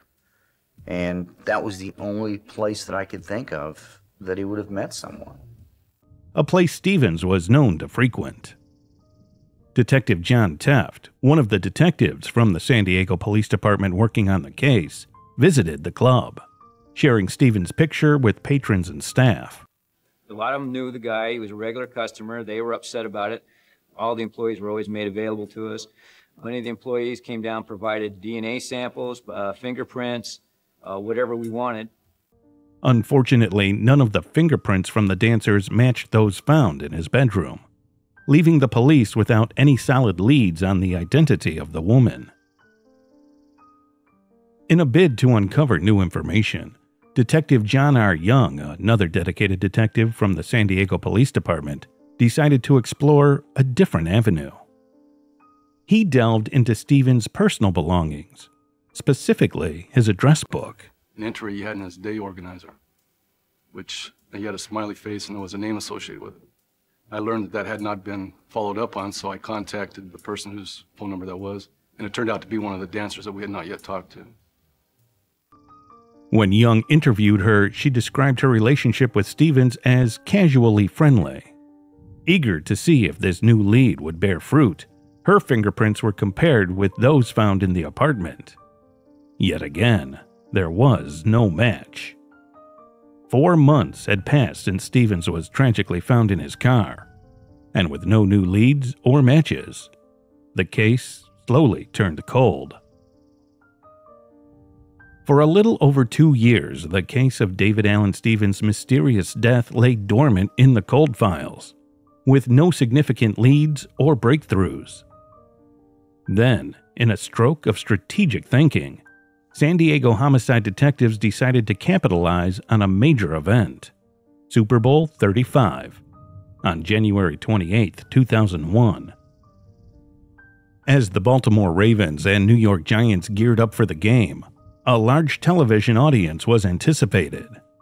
Seizing this opportunity, detectives ran a Crime Stopper spot during the game, flashing David Stevens' picture and requesting help from the public. The following day, a pivotal moment occurred. An anonymous female called in with potentially crucial information. There was an individual in a, at a party, Super Bowl party, with several other people, and when that was shown, this woman goes, uh, "That person that was involved in that killing is a friend of mine," and she then telephoned the police and said, "You should go talk to this person. She knows something about your killing." The caller pointed detectives towards a suspect, the same dancer who had previously claimed to be just friends with David Stevens. Although her DNA and fingerprints didn't match the evidence at the crime scene, her DNA and her fingerprints didn't match. So physically, we couldn't put her at the crime scene. detectives couldn't dismiss this new lead. It was more than just a coincidence, they felt. For the next six months, detectives tirelessly worked the dance club angle, hoping to uncover something concrete. Despite their diligent efforts, they kept coming up empty, unable to link anyone definitively to the crime. However, in November of 2001, another significant call came through to the homicide team. I was actually sitting at my desk in the homicide office when the secretary got the call. It says, I have a friend who's an eyewitness to a murder and she needs to talk to somebody. So she transfers the call to me. I speak briefly with the friend, who in turn puts me on the phone. The woman on the line was 21 year old Nye Norn, who claimed to have vital information about David Stevens' murder. Norn revealed that David Stevens had been her supervisor at Perfect Match and also her lover. She held a crucial piece of the puzzle the name of the man who killed Stevens, Ronald Barker, who was 35 years old at the time of committing the murder. This revelation breathed new life into the case, providing detectives with a concrete lead to pursue. She was seeing him on the side and she was becoming kind of dis, uh, dissatisfied with him. And David was expressing an interest in that. With this new information, the investigation gained momentum as detectives sought to unravel the connection between Nye Norn, Ronald Barker, and the tragic fate of David Allen Stevens. Ronald Barker, born in 1963, and Nye Norn, born in 1980, emerged as the central figures in the tragic case of David Allen Stevens. Barker's early life and family background remain largely unknown, shrouded in the shadows of his later actions. Norn's life, on the other hand, was marked by hardship from the beginning. Born in a Thai refugee camp after her mother fled the horrors in Cambodia, she came to the United States at the age of five, settling initially in Florida before moving to San Diego. There, Norn's life was further marred by domestic turbulence, with her stepfather's abusive behavior creating a fraught home environment. Norn worked as a telemarketer at Perfect Match, where she met David Stevens. It was there she also encountered Barker, who she found online and entered into an intense relationship with, despite him being a married 35 year old man and her being only 18. As Norn's relationship with Stevens evolved from workplace flirtation to planning their first date, her affair with Barker simmered in the background. You guys have sex that night? However, Norn grew increasingly dissatisfied with Barker. On the same night Stevens was killed, Norn had earlier left his apartment at 3 a.m. She returned home to find Barker waiting in a jealous rage. In a bid to cover her infidelity, she told Barker that her encounter with Stevens was non consensual. And what happened was, is basically she related to us is that she'd met with David, uh, had sex with him that night, and then Ron found out about it, and then Ron Barker killed him. Norn later revealed to police that Barker, in a fit of jealousy, shot and killed Stevens, and then set his car on fire. She claimed she was present during the murder, but was powerless to stop Barker. She portrayed herself as another victim of Barker's rage, implicating him as the jealous boyfriend who executed the murder. To corroborate her story, Norn agreed to a police request to phone Barker and discuss the incident while they recorded the conversation. She's implicating Barker as the person who's the jealous boyfriend who actually kills Stevens and uh, burns up his car. And I said, Are you willing to phone him and talk about this while we record it? Because now it's no longer her word, it'll be their word. And so she was willing to do that. She got me involved with this, and I Okay. stood enough to do for her. Okay. So you feel betrayed by her? Exactly. So basically, she betrayed, she betrayed me, and, and, and all of a sudden she decided to just walk out on me. After all the thing I did for her, I just had enough. And she playing game with me too much. So I'm just tired of her playing game with me, so I decided, no, I'm gonna go down and take you down. This strategy aimed to move beyond her word against his, hoping to capture an admission or any detail that could solidify the case. The investigation revealed a complex and convoluted plot. Barker admitted to following Stevens under the guise that Norn's car had broken down. When Barker flashed his lights, Norn deceived Stevens, claiming it was her brother coming to help. Unaware of the impending danger, Stevens allowed Barker into the back seat of his car, where Barker then shot him twice in the head. They set up this pretty elaborate plan on how to get him out of his apartment, get him into a remote area, and then put your arm around his neck and shoot him in the back of the head. Barker confessed to setting the car on fire to destroy the evidence, and even showed burns he sustained during the act. The two kept their heinous crime a secret for almost three years, their bond of secrecy enduring until their relationship deteriorated. As the case unfolded, it became clear that both Barker and Norn were deeply entangled in a web of lies and deceit, leading to the tragic end of David Allen Stevens. In November 2001, a significant turn of events occurred as the detectives arrested Ronald Barker and charged him with first degree murder. Following this, Nine Norn was also apprehended and faced the same charge. The trial of Ronald Barker took place in January 2003 in a San Diego courtroom. In an unusual move, Barker chose to represent himself. He questioned witnesses and argued that his tape recorded confession was coerced. However, the jury was not convinced by his defense. After only two hours of deliberation, they found Barker guilty of first degree murder. He received a life sentence on January 27, 2003. Nine Norn's trial followed a similar path, leading to her conviction for first degree murder. She too was sentenced to life in prison that same year, 2003. However, the trajectory of her case took a different turn. Norn appealed her conviction on the grounds of battered woman syndrome, arguing that her abusive past and the circumstances surrounding the crime should be taken into account. This appeal led to a reduction in her sentence to 15 years, which began in 2003.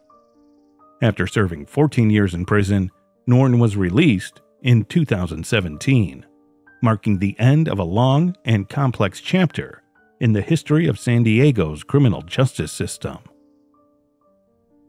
The resolution of David Allen Stevens' case brought long awaited closure to his family. While they remained private and did not publicly express their thoughts, the conclusion of the trial and the subsequent sentencing of Ronald Barker and Nine Norn undoubtedly provided them with a sense of finality. For the Stevens family, this outcome likely offered a semblance of justice and hope that their loved one's tragic end was not in vain. So, what do you think about the twists and turns in the David Allen Stevens case? Could anything have been done differently to bring this case to a close sooner? Let us know your thoughts in the comments. We're always looking for new cases to explore, so if there's a particular story you'd like us to cover, please drop your recommendations in the comment section below. And for more captivating true crime stories, don't forget to like, share, and subscribe to our channel.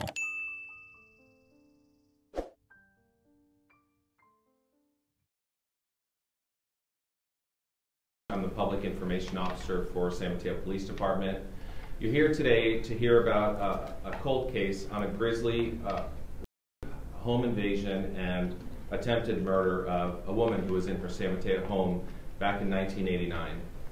On February 4th, 1989, at approximately 4:15 a.m., an intruder allegedly entered an apartment on the 3100 block of Casa del Campo, San Mateo County, California. The intruder, wielding a kitchen knife he found in the apartment and concealing his identity with a bandana, forced his way into a woman's bed. Through threats and violence, he subjected her to a horrific ordeal, combining assault, strangulation, and stabbing. Remarkably, the victim persuaded the assailant to leave and promptly alerted the authorities. How did the assailant manage to enter without a trace? And who could be this unknown intruder? San Mateo County, with a population of 764,442, is known for its proximity to Silicon Valley, impacting its lifestyle with a blend of suburban and urban vibes. There are recreational places like parks and historic sites, adding a cultural touch. People here are diverse and often engage in tech and innovation. While the crime rate is relatively low compared to other parts of California, there's a focus on community safety. The mention of the John Harris Jr. cold case in 2023 highlights an instance of unresolved crime in this otherwise peaceful county. In the pre dawn stillness of February 4, 1989, a serene neighborhood in San Mateo, California, was pierced by an act of violence that would haunt the 3100 block of Casa de Campo for decades. A lone male, in an unsettling breach of security, slipped into an apartment. His first act was to arm himself with a knife from the kitchen, a common household item turned weapon. The intruder's next move was to make his way to the bedroom. That's where he really crossed the line, attacking not just the victim's place, but her personally. Climbing into the bed where she lay, the suspect initiated an attack that was both physical and psychological. In what became a struggle for life, he choked and stabbed the victim, narrowly missing her jugular vein, a stroke of deadly luck that saved her life. Even in the face of such terror, the woman's will to survive proved formidable. She fought back against her attacker, a man who kept his features obscured behind the fabric of a bandana.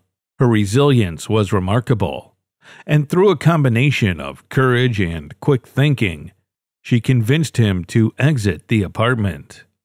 This act of convincing the assailant to leave would later be a point of interest and wonder for all who learned of the incident.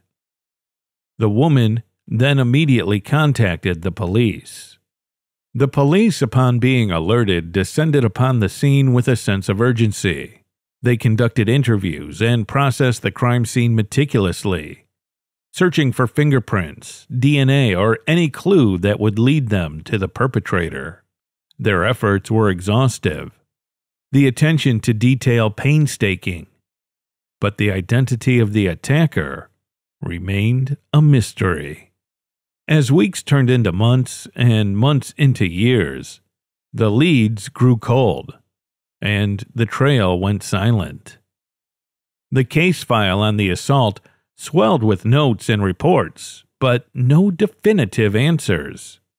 The person responsible for the heinous crime within the walls of that apartment had vanished into the ether, leaving behind a victim to grapple with the aftermath and a community shaken to its core.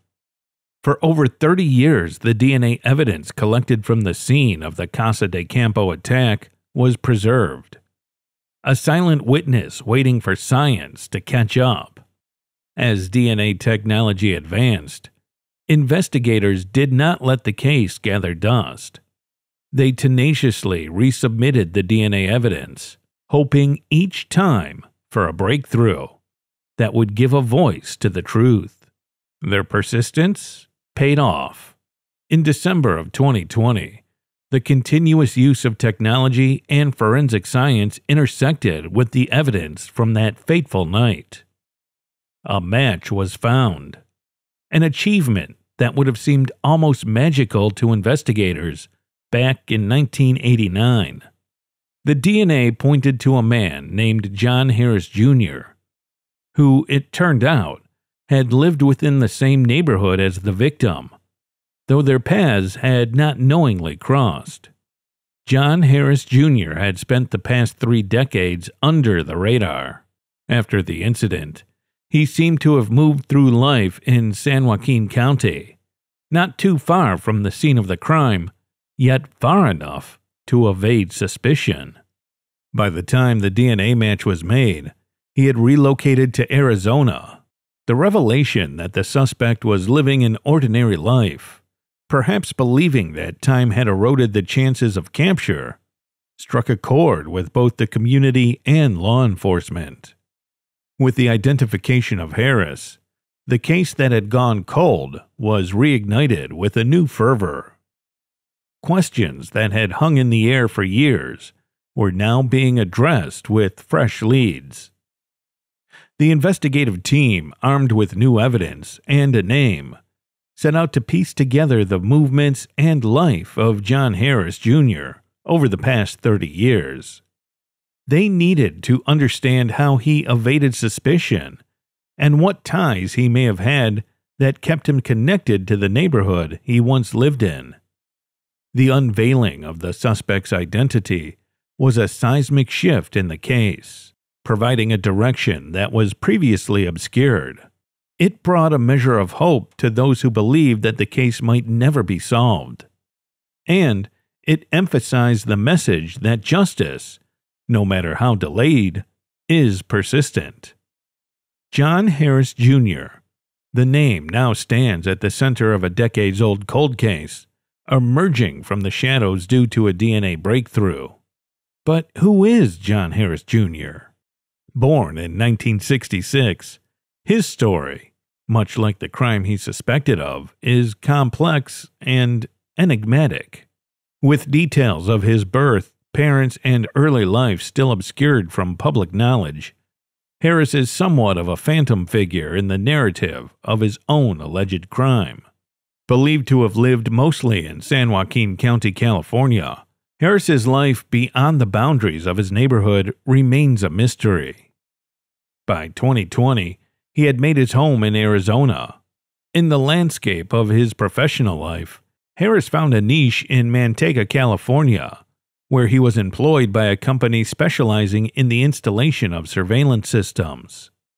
A detail that carries a certain irony, given his subsequent criminal allegations. The scarcity of information on Harris paints a picture of a man who has successfully kept his life away from the public eye. What is understood is that Harris's existence wasn't conspicuous. There were no glaring signs pointing to a disturbed childhood or a troubled educational journey that the public is aware of. The absence of a known criminal history makes the sudden link to a violent crime all the more jarring. As the main suspect in an attempted murder case, Harris's DNA has irrevocably tied him to a heinous act, suggesting that beneath the veneer of an ordinary existence, there may lie a history of darker inclinations. No marital or family ties have been brought to light. Harris, in many respects, seems to be a solitary figure, disconnected from the relational anchors that typify most lives. The emergence of his name in connection with the case has undoubtedly sent ripples through his former community in San Joaquin County and beyond. Neighbors who might have merely nodded to Harris in passing now grapple with the chilling proximity of a man accused of a dangerous crime. At the age of 55, John Harris Jr. found his life abruptly upended. On Wednesday, the 25th of February 2021, he was detained, facing charges of attempted murder. The long arm of the law caught up with him near his place of employment in Manteca, California. This arrest wasn't just the result of diligent police work, but a pivotal breakthrough in DNA analysis.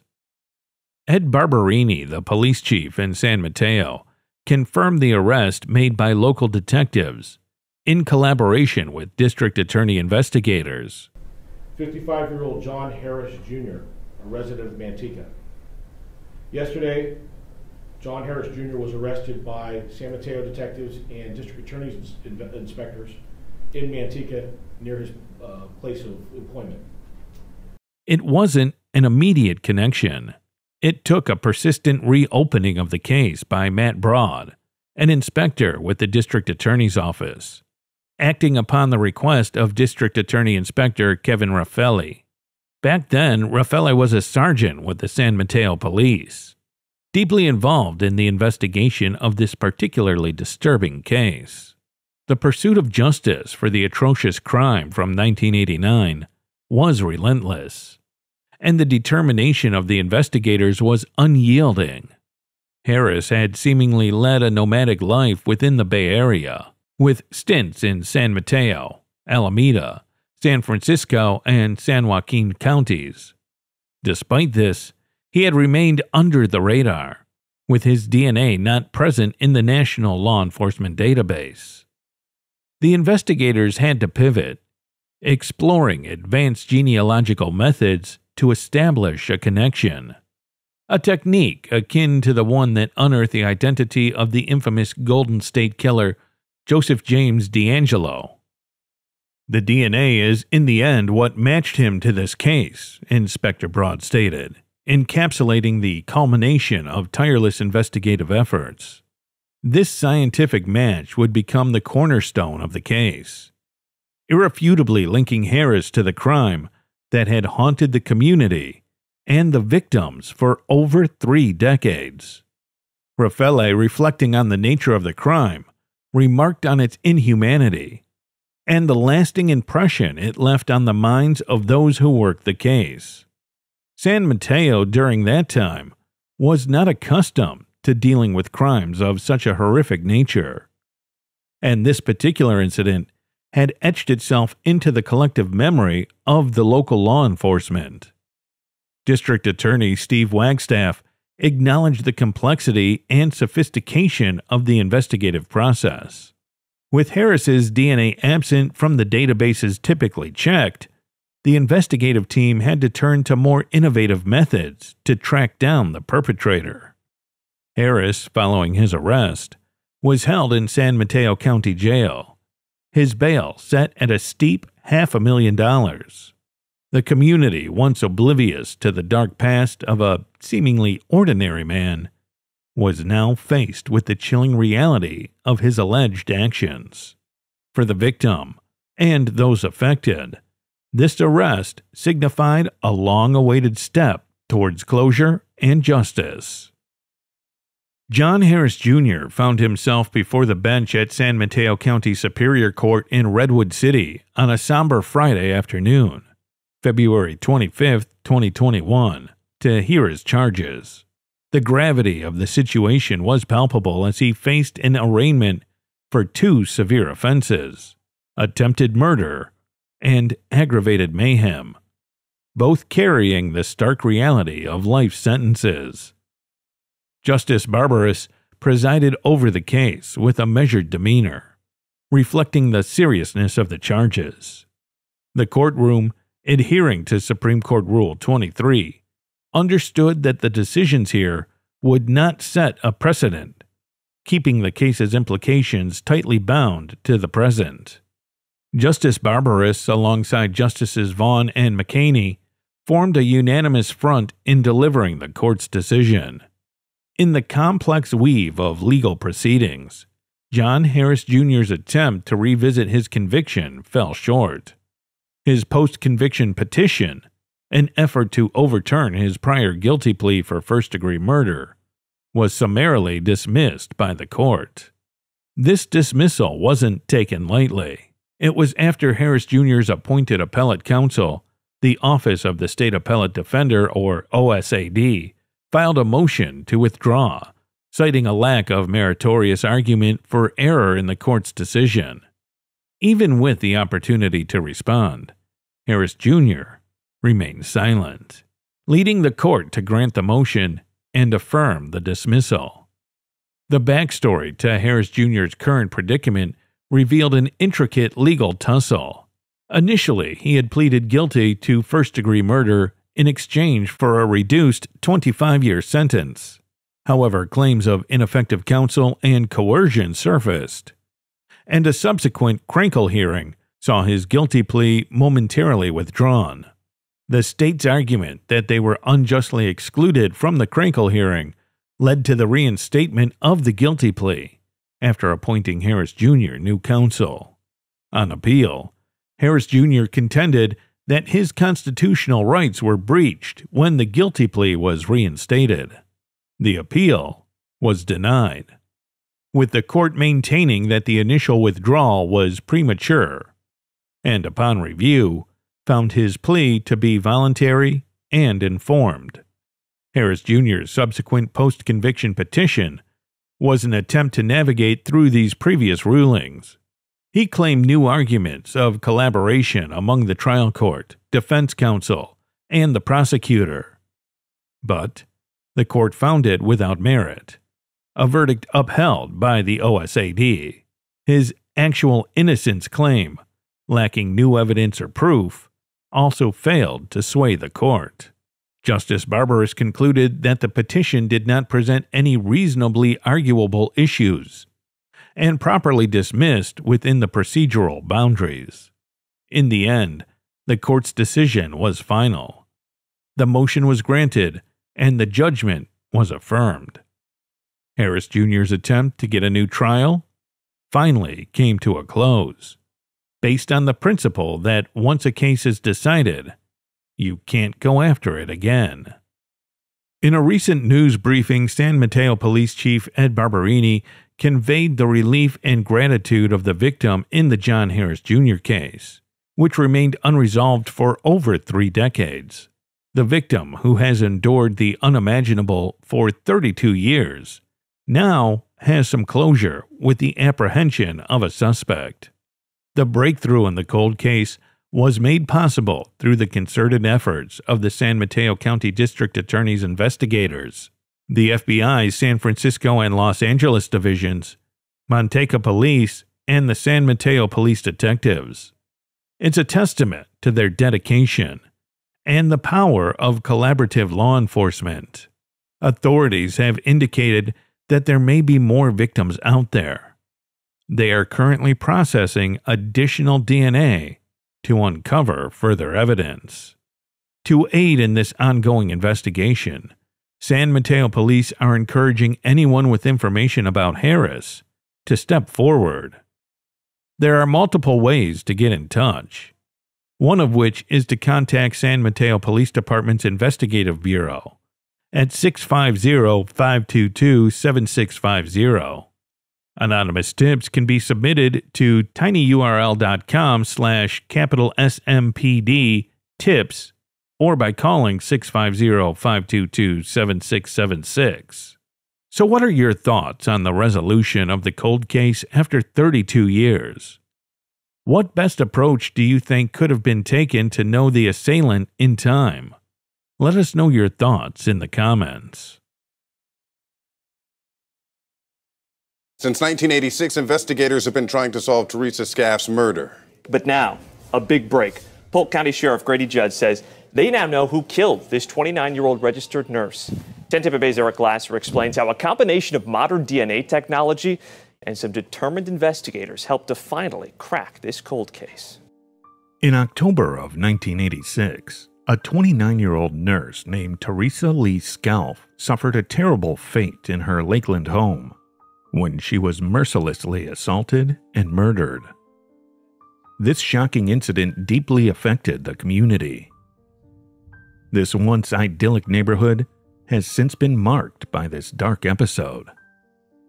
It's not unreasonable to suggest that had it not been for such an unfortunate incident, Teresa's plain duplex would have still been just an ordinary residence until now.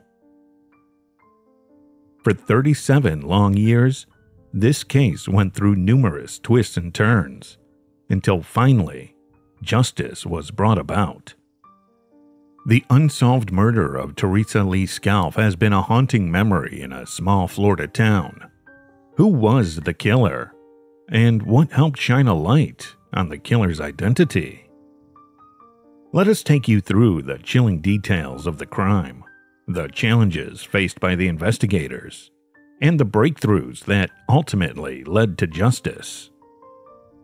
Delve into the layers of intrigue, secrets, and a family's resilient spirit as they seek closure. It is a true crime story that transcends time, showing how one's past can finally catch up with them when they thought they had escaped it.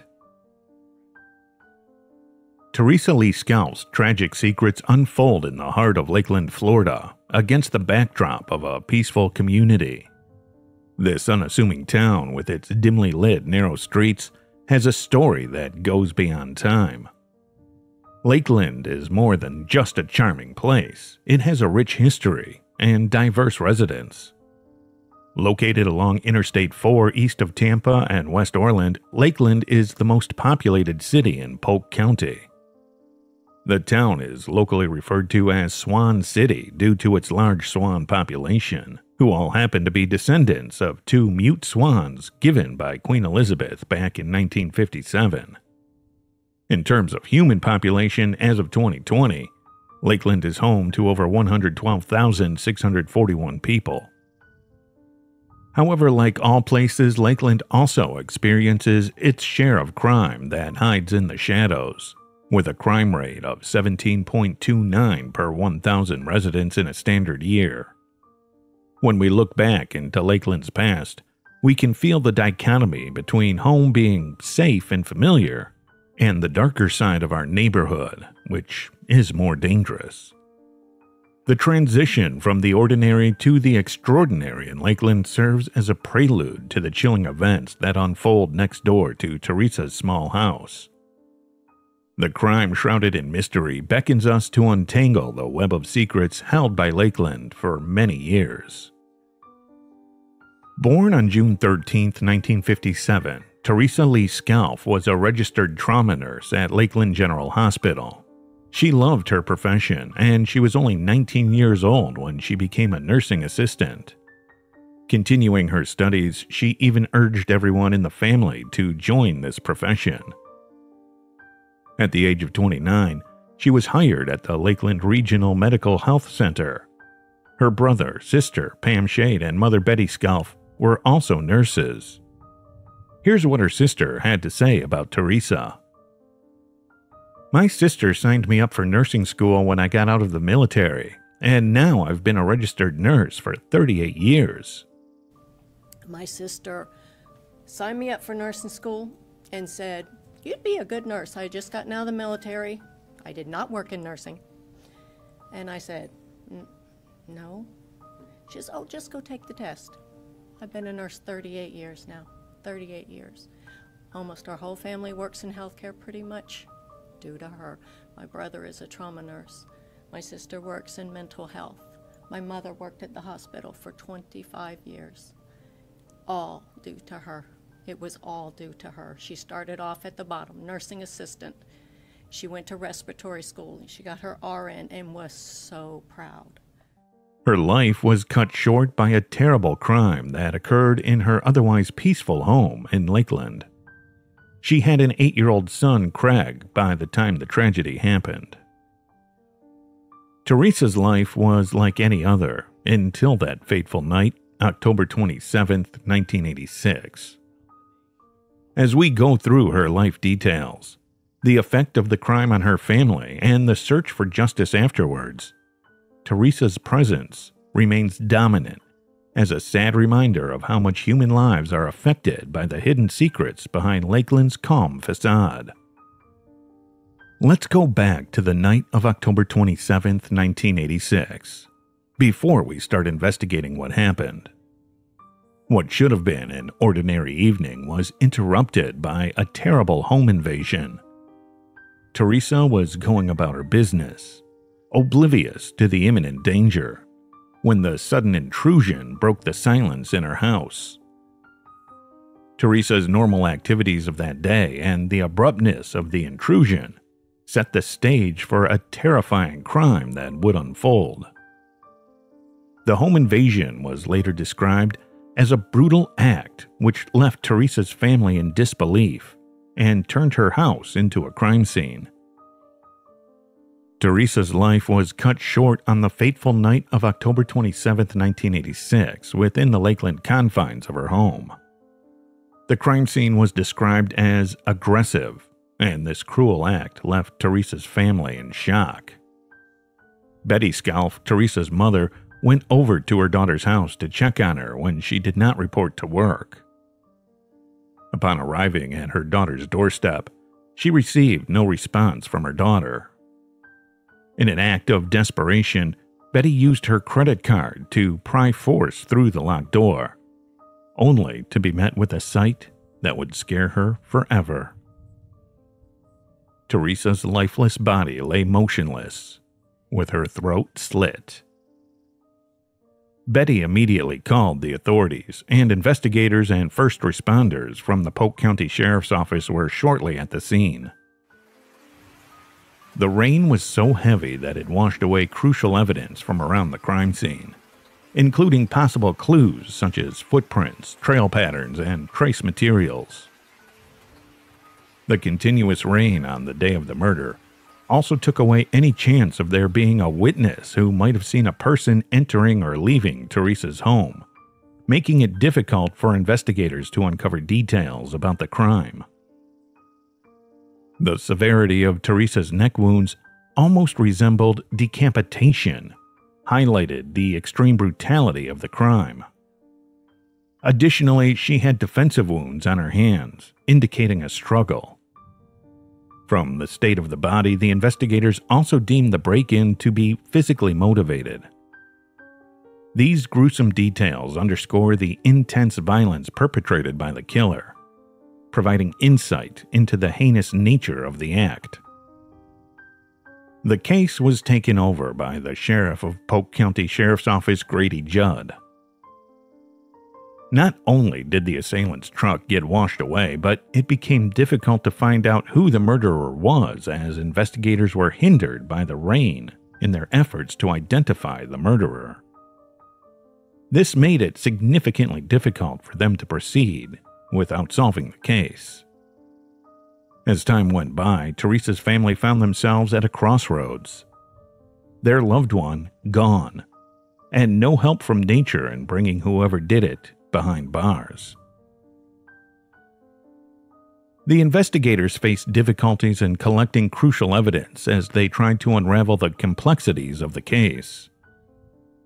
The investigation into Teresa's murder became a daunting task, with the elements themselves becoming enemies. The initial stages were characterized by continuous rain, which made it difficult for law enforcement to make progress in finding out who committed the murder adding to the challenges of an already complex case. Betty Scalf remembered, I think she was killed around 3:30 in the afternoon, and by the time I got there at 8 or 9 p.m., all the evidence had been washed away by the rain. At that time, no one was home, and Teresa's son Craig was sleeping over at his grandma's house. I want to say is it was raining it was raining very hard all day, and it was still misty rain that night. It was just before Halloween, and because of the rain, people were not out. Usually the kids would be out playing, but it was raining. They were not out. And of course, by the time I think she was killed in around 3:30 in the afternoon, and by the time I got there at eight or nine o'clock at night, all the evidence had been wa- washed away by the rain. The crime scene showed gruesome details as Teresa's body had signs of being stabbed aggressively, with her throat almost cut off completely. Investigators searched every inch of the crime scene and found blood splatters inside the house near the body. They collected two different blood samples, one from Teresa and another from an unknown person. It was a crucial piece of evidence. At the time, there were no obvious suspects, despite their efforts, and the lack of DNA genealogy identification or testing made it more difficult to find any leads, ultimately resulting in the case going cold, as there was no way to identify her killer without the right technology. We investigated it through the years, and I want to, you to clearly understand when this occurred in 1986, there was no DNA. There was no DNA genealogy. We knew that we had Teresa's blood and we had another unknown source of blood, but there was no way to match that.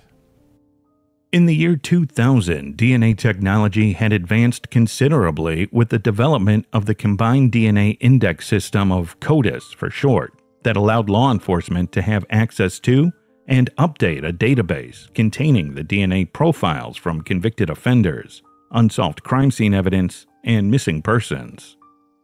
The blood sample from Teresa's crime scene was entered into the CODIS, but no match was found, leaving Teresa Lee Scalf's murder a mystery for years.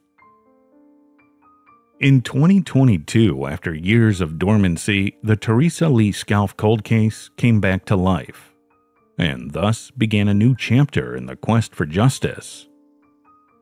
The Polk County Sheriff's Office, along with Othram Inc., a forensic genetic genealogy lab, carried out an analysis of preserved blood evidence obtained from the scene.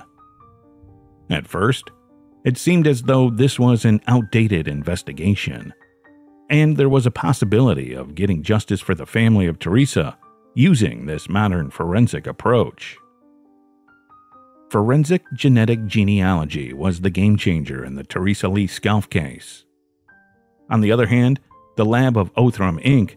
used a more advanced technique to analyze this blood sample from 1986, narrowing it down further by linking its DNA to distant relatives of the suspect. It is therefore correct to say that the family associated with the blood sample of the assailant was instrumental in solving the case. In 2022, investigators approached the relatives of the suspects involved, which led them to collecting a DNA sample from Douglas Jr., Donald Douglas's son. Douglas Jr. gave his full cooperation, and it was his DNA that finally brought answers. So we took our suspect's blood that we'd run a DNA on and put it in the CODIS database, certain that we would get a hit for someone who would viciously murder this beautiful young lady. Nothing at all. And the investigation went on. We suspected a lot of people, we talked to a lot of people. There were literally thousands of hours of investigative work that went into this case. This innovative approach brought to light hidden familial connections, which eventually led to the identification of Teresa's killer in a new light. Through DNA testing, it was revealed that the unidentified blood sample from 1986 and the DNA of Douglas Jr. shared a 100% confidence of a parent child biological relationship. With that, Donald Douglas, then neighbor of Teresa Lee Scalf, the murderer, was finally unveiled. One of our detectives, Matt Newbold, who is not only assigned to homicide, but cold case homicide, had Teresa Scalf's photograph on his desk from early 2015. He said, I'm going to figure out who murdered Teresa. And that's exactly what he did. This is who murdered Teresa, Donald Douglas. This avant garde ballet of investigative methods brought Donald Douglas to the forefront, marking a watershed moment in law enforcement. The family's journey in this forensic genetic genealogy drama unfolded through cutting edge technology and unwavering determination that ultimately solved a long standing mystery. Sheriff Judd acknowledged Detective Matthew Newbold for leading these transformative efforts. Donald Douglas, the elusive murderer of Teresa Lee Scalf, managed to evade the clutches of justice for over three decades. Living just next door to Teresa at the time of the brutal attack, the 33 year old became a suspect during the initial investigation. However, the case faced significant challenges due to Donald's clean slate, no previous convictions, and the obstacle of his cremation in 2008 which thwarted attempts to collect DNA samples crucial for forensic analysis. While he was officially cleared by law enforcement, his proximity to the crime scene left lingering doubts that shadowed the decades long pursuit of justice. During the initial investigation, Betty Scalf stated that her daughter had mentioned having a creepy neighbor who exhibited stalkish behavior. She also mentioned that Douglas had even approached Teresa's door with a flower, which she found unsettling. His clean record made him impervious to scrutiny, allowing him to move undetected after the cold blooded murder of Teresa. The investigators were able to piece together the life of Donald Douglas by navigating through a maze of memories and disjointed accounts from decades ago he managed to avoid suspicion, despite being an unremarkable and reclusive person. The difficulty in catching someone who appeared normal on the outside shows how hard it is to uncover a criminal hiding behind a facade. Investigators suspect that Douglas was driven by romantic rejection to commit the crime. However, an arrest could still not be made. After the revelation of the killer, investigators found that Donald Douglas had passed away in 2008 at the age of 54. He died of natural causes and, as a result, never spent a day in prison, nor had faced the ramifications of taking the life of an innocent person. Her family was shocked to find out that it was Donald Douglas who assaulted Teresa. Consequently, they felt a mixture of relief and deep sadness. The Scalfs were unable to bear the shocking information of Teresa's murder and its perpetrator being their next door neighbor. The fact that the family had undergone emotional distress was now obvious. The length of time that passed with no knowledge and unexpected issues during inquiries into the crime had a great effect on them they had to decide how to feel slightly better due to the closure, but still mourn over Teresa. The narrative surrounding this disturbing case continued to resonate with the shocking exposure of Donald Douglas as Teresa Lee Scalf's murderer. The story seemed simple at first, yet Douglas's involvement in Teresa's murder made it more complex. This is why there was no conviction of charges against him, since he died naturally in 2008. And these circumstances create very difficult questions about fairness and accountability for those who have passed away. Fully appreciating the profoundness of Donald's acts required one to understand the intricate emotions of both the Scalf family and the general public. One may ask whether accountability and justice are relevant in solving a cold case that involves a deceased suspect. The turning point came for Teresa's family when her killer was finally unmasked 37 years later. Although this brought with it some answers, it was not enough to heal the old scars of that terrible deed. All I want to say is I'm 84 years old.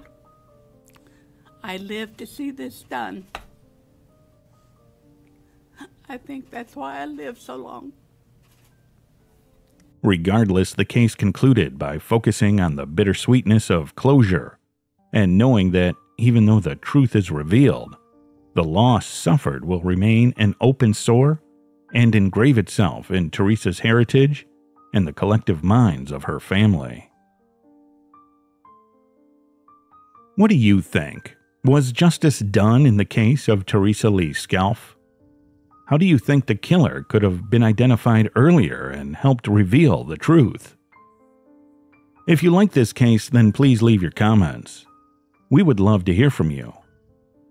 And if there's any case you want us to cover, then please feel free to suggest it in the comment section below. For more interesting true crime stories, like, share, and subscribe to our channel.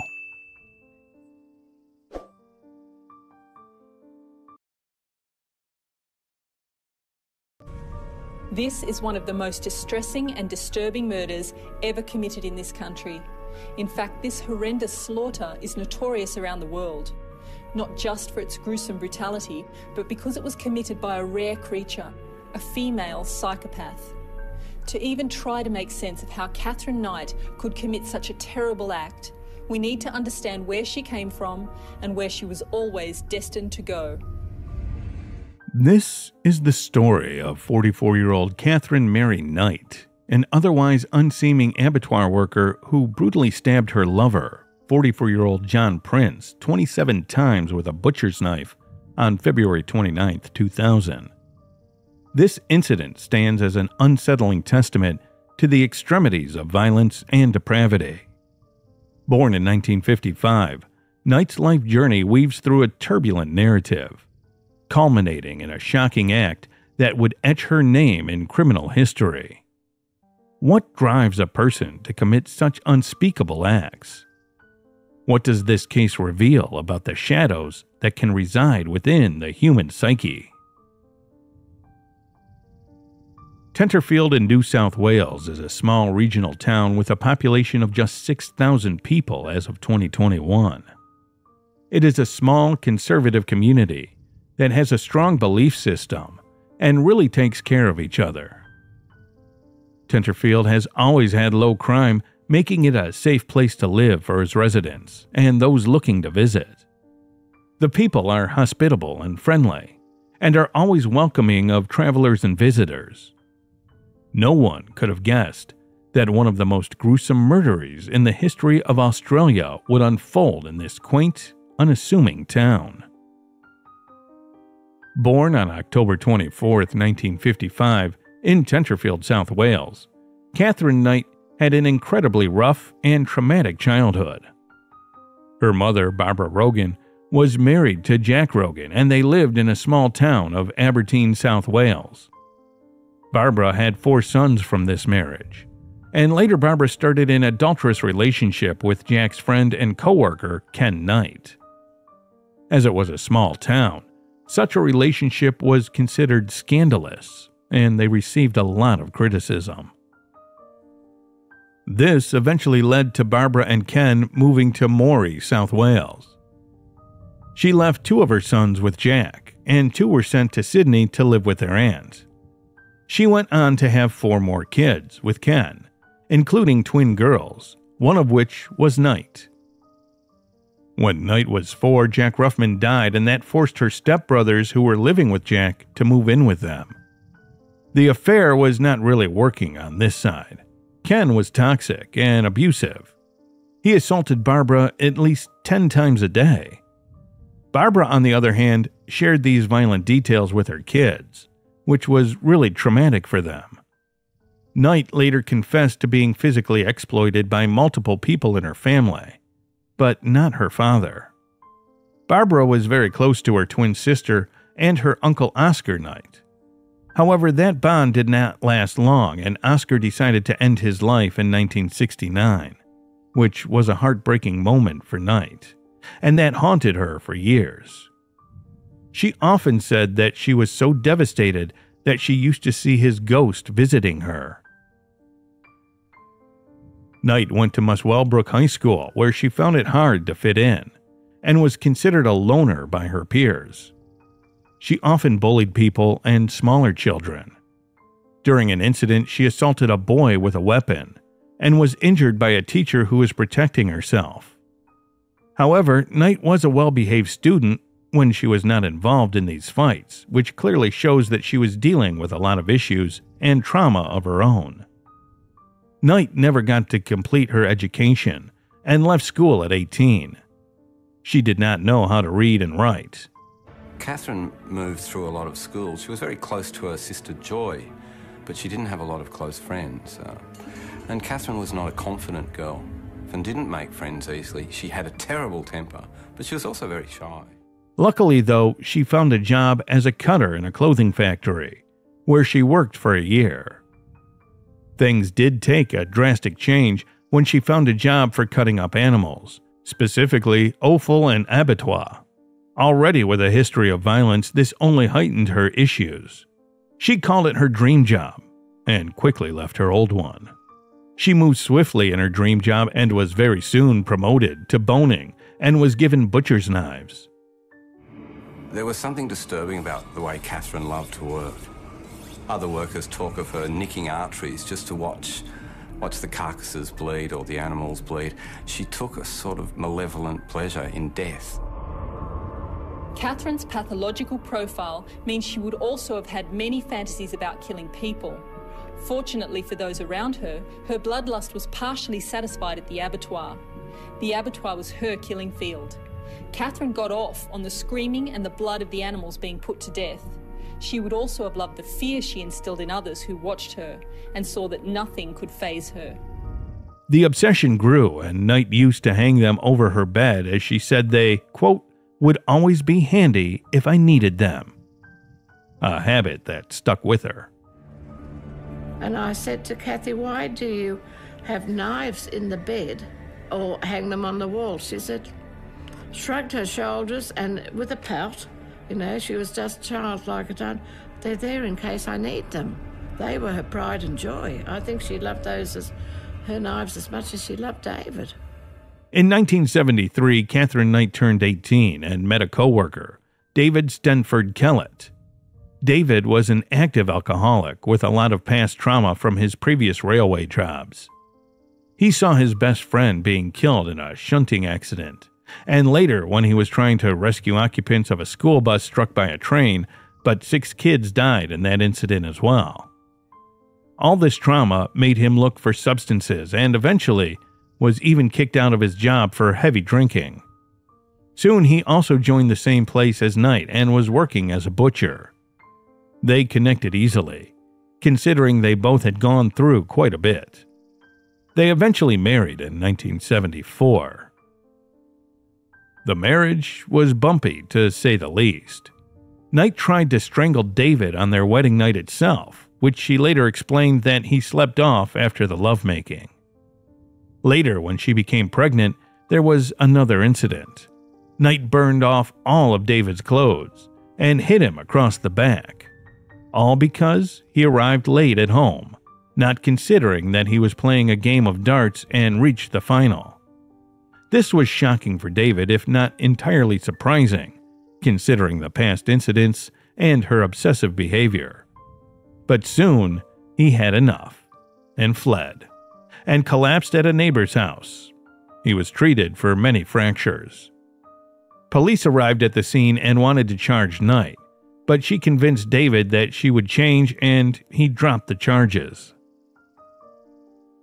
Later, David left her for another woman Soon after Knight gave birth to their newborn Melissa Ann and moved to Queensland. Unable to cope with the loss, she was seen pushing her newborn down the street.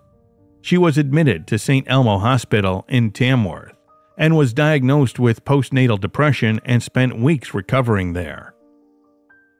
Even after releasing, she placed her daughter, who was two years old at the time, at the railway tracks, who was rescued by an unsheltered man. Knight was furious at David and slashed a woman's face and even held a boy hostage, telling them to drive her to David. She was arrested and was later left to the care of her mother in law and David. David instantly moved in with his mother and took care of Katherine after hearing of this incident. They had another daughter, Natasha Marie. Eventually, Knight left David and moved to Aberdeen. John Charles Thomas Prince was born on April 4, 1955. He was called a terrific bloke and was pretty much liked by everyone who knew him. He was previously married, which ended in divorce in 1988. He had three kids from the marriage, and the youngest daughter was just two years old, who lived with his ex wife, and the other two kids were with him. He was aware of Knight's violent outbursts when he started his affair, but was somehow okay with that. She moved in with him in 1995. John's family liked Knight, and apart from some minor arguments which are common in couples, they had a good time together. Surprisingly, Knight even got along with his two kids, and they liked her as well. John was also making a lot of money at the local mines, so they had more than enough for a comfortable life. Around 1998, Knight videotaped some items that John stole from work and sent it to his boss. The reason she did this was because John didn't want to marry her. The items weren't useful and were mostly trash and out of date medical kits. John was still fired from his reputed job that he had had for 17 years, and that was it for him. He kicked her out of his house. However, the obsession didn't wear off completely, and she restarted the relationship, this time refusing to let her move in with him. Their arguments were more frequent now, which impacted John's life as well.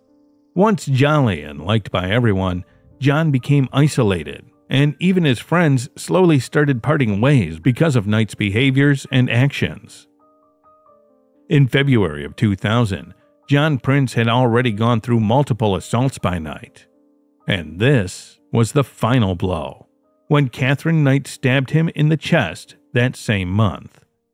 He kicked her out of the house again and went to Scone's Magistrate Court on February 28th to get a restraining order to protect his family. In a desperate attempt to fortify the frail defenses around his family, John confided in his coworkers, leaving them with a chilling prophecy quote, If I don't appear tomorrow, she's taken my life. It was a haunting echo of his own mortality, a stark admission that the relentless terror inflicted by Knight could culminate in the ultimate price. Later, he went home and sent his kids to a sleepover. He stayed with the neighbors till 11 p.m. before returning home. Earlier that day, Knight had bought black lingerie and videotaped all of her kids while making comments which have since been interpreted as a crude will. She arrived at John's house that night, and they indulged in lovemaking. The next day, a neighbor became concerned that John's car was still at home, and later his employer sent a coworker to check on him as well. Both of them found blood on his front door and immediately alerted the police. The police arrived and broke down the back door and found John's body. Knight stabbed him with her butcher's knife at least 37 times while he was sleeping. Several hours after John Price's tragic demise, Katherine Knight committed unspeakable acts, turning the crime scene into a house of horror. She callously skinned John and hung his skin from a meat hook on the lounge room door. The ruthlessness continued as she decapitated him and proceeded to cook parts of his body. The macabre scene included a bizarre setting at the dinner table the cooked flesh served with baked potato, carrot, pumpkin, beetroot, zucchini, cabbage, yellow squash, and gravy. Shockingly, notes beside each plate bore the names of John's children, indicating Knight's twisted plan to serve their father's remains to them. A third meal, inexplicably thrown on the back lawn, remains shrouded in mystery, prompting speculation that Knight may have attempted to consume it herself but could not proceed. This detail aligns with her claims of amnesia regarding the crime. John's head was discovered in a pot with vegetables, still warm, suggesting the gruesome cooking occurred in the early morning. There was a note beside each plate with writing on it with um, the names uh, John and Beck. They showed the video of the crime scene in court, and it's perhaps the most horrific video you would ever wish to see. Uh, It's just unimaginable what the police saw that day and what was recorded on that video. The skin looked like a wetsuit. Uh, It took you a while to work out what it was. It was hanging on a butcher's hook in the doorway. It had all come off in one piece. Probably the worst bit of the video was when they went to the stove in the kitchen and you see the gloved hand of a forensic policeman take the lid off the pot on the top of the stove and inside it's uh, Price's head staring back up at the camera. That to me is Kathy showing her ultimate power.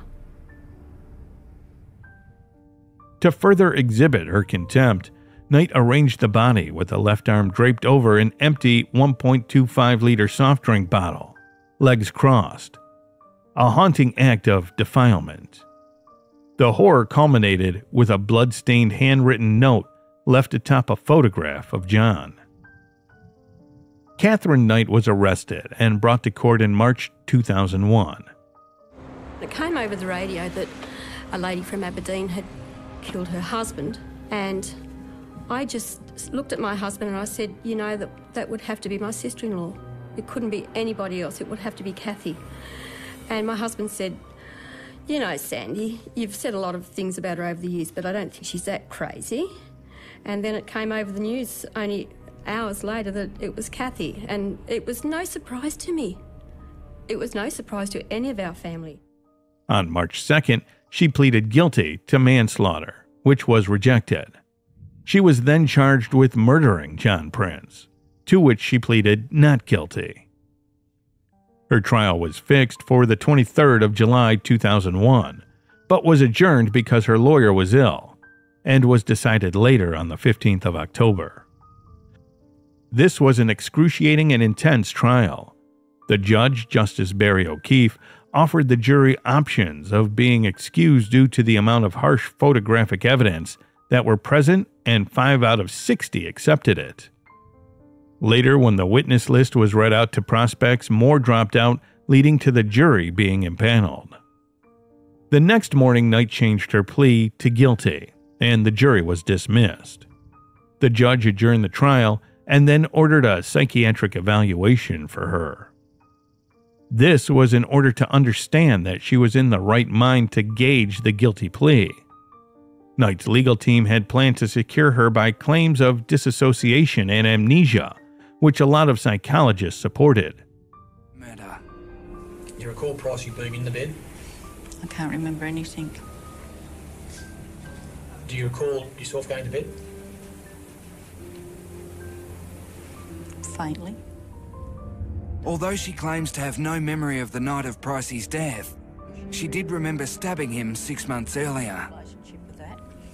Once Pricey got off the phone, he started on me, and I was around washing up, and it could have been a fork, a spoon, or anything in my hand. It was a knife that cut your meal with, and I aimed it at him, and it got him.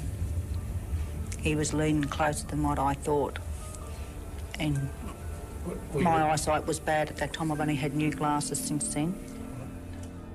However, the evaluation concluded that she suffered from borderline personality disorder.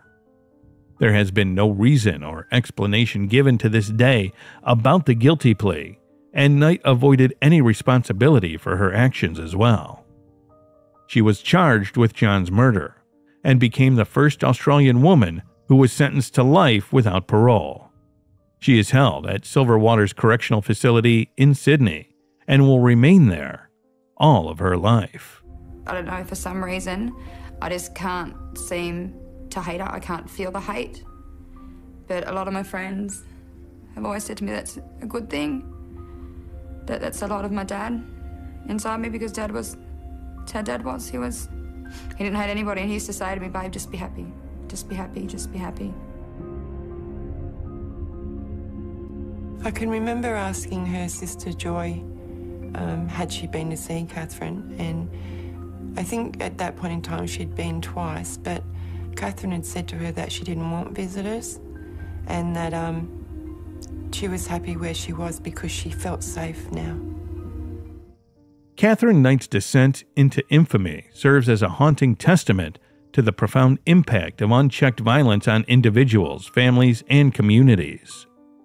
The wounds inflicted by her actions extend far beyond the walls of the courtroom, leaving an indelible mark on the lives of John Price's family and the collective consciousness of a nation.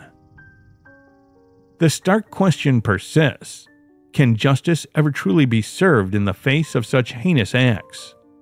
Do you think this could have been prevented? As there were clear signs of violence and unresolved issues with Katherine Knight. Why do you think John Price allowed her in the house even after he got a restraining order and told his colleagues she might kill him? Is this love or obsession that ends in chaos and losing one's life?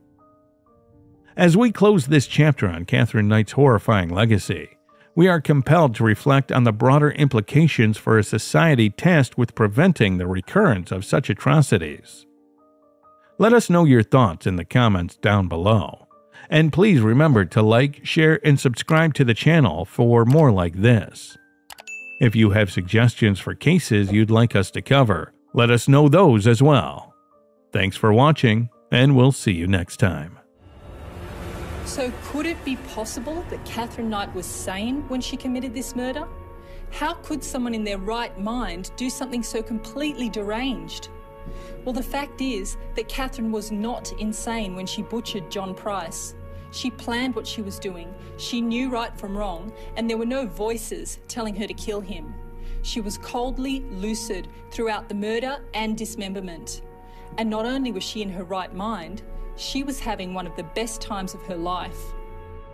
So if she's not mad, is Katherine just bad? Is she some kind of evil monster, completely alien to the rest of us? Katherine Knight's personality is best summed up in one word psychopath. She's ruthless, self serving, incapable of feeling guilt, and dangerous until the day she dies.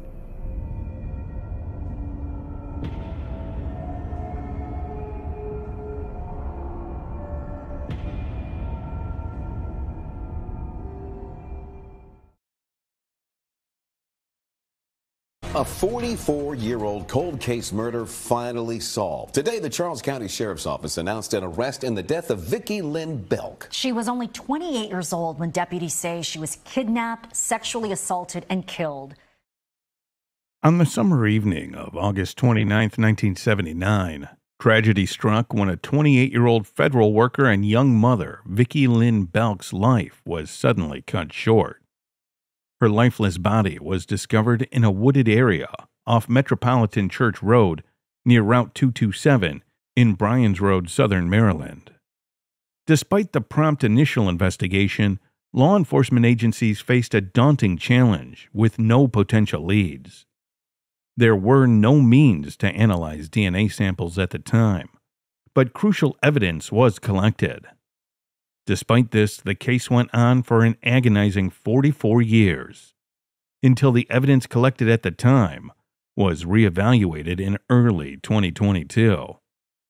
A breakthrough and a significant turn in the case occurred, and a profile was developed and entered into the Combined DNA Index System, or CODIS. As we dig deeper, more and more questions surface. What was the motive for targeting Vicki Lynn Belk? Who was the killer? And what was the evidence that brought down the hammer of justice? Let us dive right in and look at what happened on that fateful evening of August 29, 1979. This case takes us to Suitland, an unincorporated community in Prince George's County, Maryland, USA, that offers its residents a blend of urban and suburban living. With a population of 26,375 as of 2023, the serene atmosphere of this suburb makes it an ideal place for families to thrive.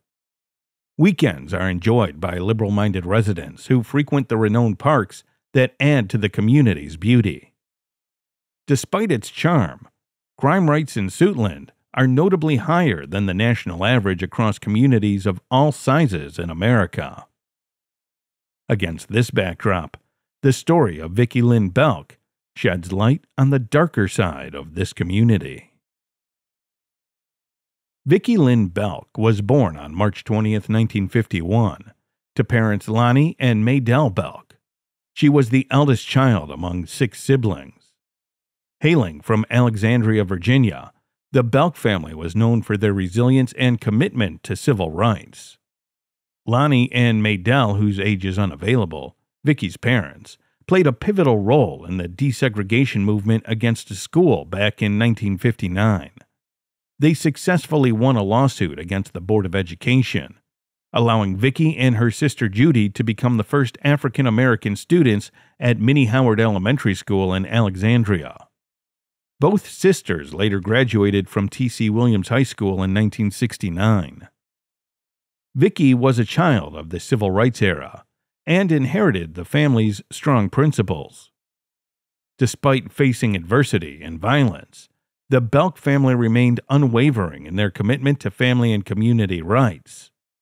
Vicky, in particular, was actively involved in voicing her opinions and protecting her community. Vicky was also a great leader, and her leadership qualities were evident to her siblings, who looked up to her thoughtful and giving nature. In a time when opportunities were scarce, she became the first in her family to graduate from college. In 1974, she earned a Bachelor of Arts degree in education from St. Augustine College in Raleigh, North Carolina.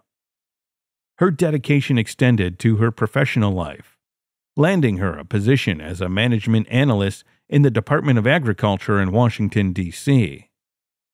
Despite the demands of her job, Vicki also found time to be a loving mother to her son Lamont Belk, who was just seven at the time and remained fully devoted to him.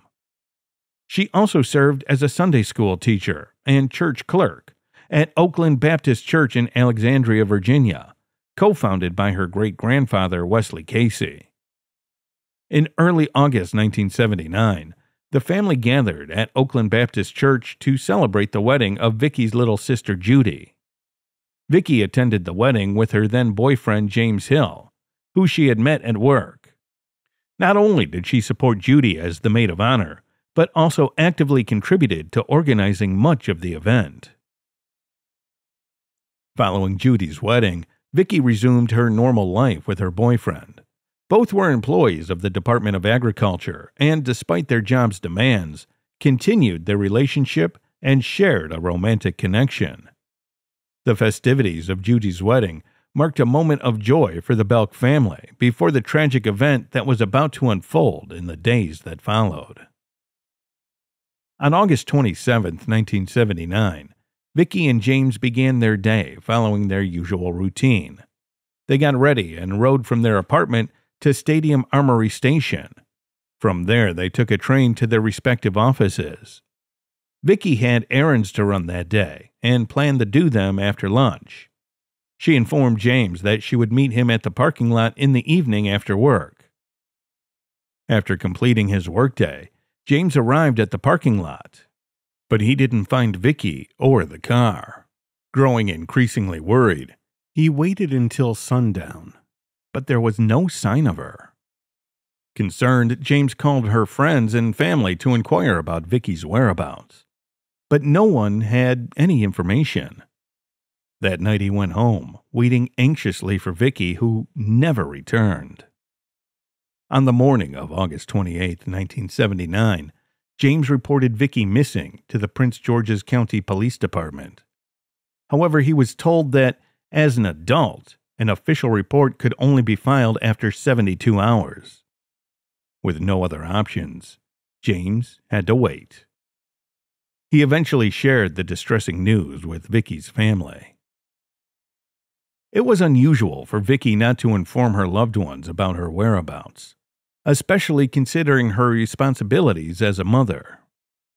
Waiting for the 72 hours to pass was excruciating for the family, and they were starting to sense that something was seriously wrong. The turning point came on the evening of Wednesday, August 29th at 7 p.m. when a local teenage boy riding his bike near Route 227 in Maryland discovered a dead body in the woods, 20 feet off the road, along Metropolitan Church Road and Livingston Road. Recognizing the severity of the situation, he promptly informed his mother, who then contacted the authorities straight away. Upon promptly arriving at the crime scene, officers discovered the lifeless body of a partially clothed woman with a gunshot wound to her head. The deceased was swiftly transported to the chief medical examiner in Baltimore, where on August 30th, 1979, she was identified as Vicki Lynn Belk. The tragic incident was classified as a homicide. The Charles County Sheriff's Office contacted Vicki's parents, Maydell and Lonnie, urgently relaying information about Vicki and urging them to come to the police department. During the journey to the station, Lonnie and Maydell clung to a glimmer of hope, hoping against hope that Vicki might be injured but alive. However, their optimism shattered upon arrival, as they were met with the devastating news that their eldest daughter had been assaulted, murdered, and left on the roadside. Maydell, overwhelmed with grief, couldn't contain her pain and broke down, expressing her sorrow and vehemently condemning the perpetrator behind her daughter's tragic fate. He just threw Vicky in the woods like a dog. They couldn't believe that their innocent daughter faced such atrocities and was inhumanely dealt with. They were in a state of shock and trauma. However, despite the profound grief, they placed their trust in the detectives, especially Detective Sergeant John Elliott and Forensic Deputy Director Noel German, yearning for justice. Police recovered Vicky's belongings, including brown shoes, hair samples, nail clippings, jewelry, bra, dress, and slip. Unfortunately, these items did not yield substantial leads during testing, due to lacking technological advancements in DNA testing. With no witnesses or any other evidence to shed light upon the case, the trail of Vicky's killer ultimately went cold. The detectives diligently conducted interviews with Vicky's family, colleagues, and individuals in the vicinity of the crime scene. Despite their relentless efforts and thorough pursuit of leads, the investigation encountered obstacles, and progress was slow. A significant focus was placed on locating James's car, which Vicky had used on the day she went missing, with the hope that it might hold clues to her assailant. After days of searching, James's Buick was located, abandoned in Washington, D.C. Regrettably, there was no trace of the killer. Undeterred by the lack of immediate breakthroughs, the Detective Sergeant John Elliott and Detective Director Noel German remained resolute in their commitment to finding Vicki's murderer. They carefully preserved all gathered evidence, which included the shoes, her dress and nail clippings, anticipating that this could potentially unlock new avenues for testing and analysis. The investigation persisted over the years, fueled by the unwavering hope that justice would eventually prevail for Vicky. In the years that followed, as technology advanced, detectives from Charles County collaborated with Maryland State Police utilizing cutting edge tools at a technology facility in Lorton, Virginia Bode Technology Group, and Sorenson's laboratories in Salt Lake City, Utah. Their mission was to reevaluate the evidence in Vicki's case, aiming to uncover her killer and bring them to justice. The investigation encountered persistent disappointment, but it never stopped. It wasn't until the 1980s that DNA testing technology progressed exponentially. Authorities began building an extensive database comprising DNA samples and fingerprints collected from individuals charged with crimes nationwide. By the early 2000s, with further advancements in DNA technology, detectives revisited Vicky's case.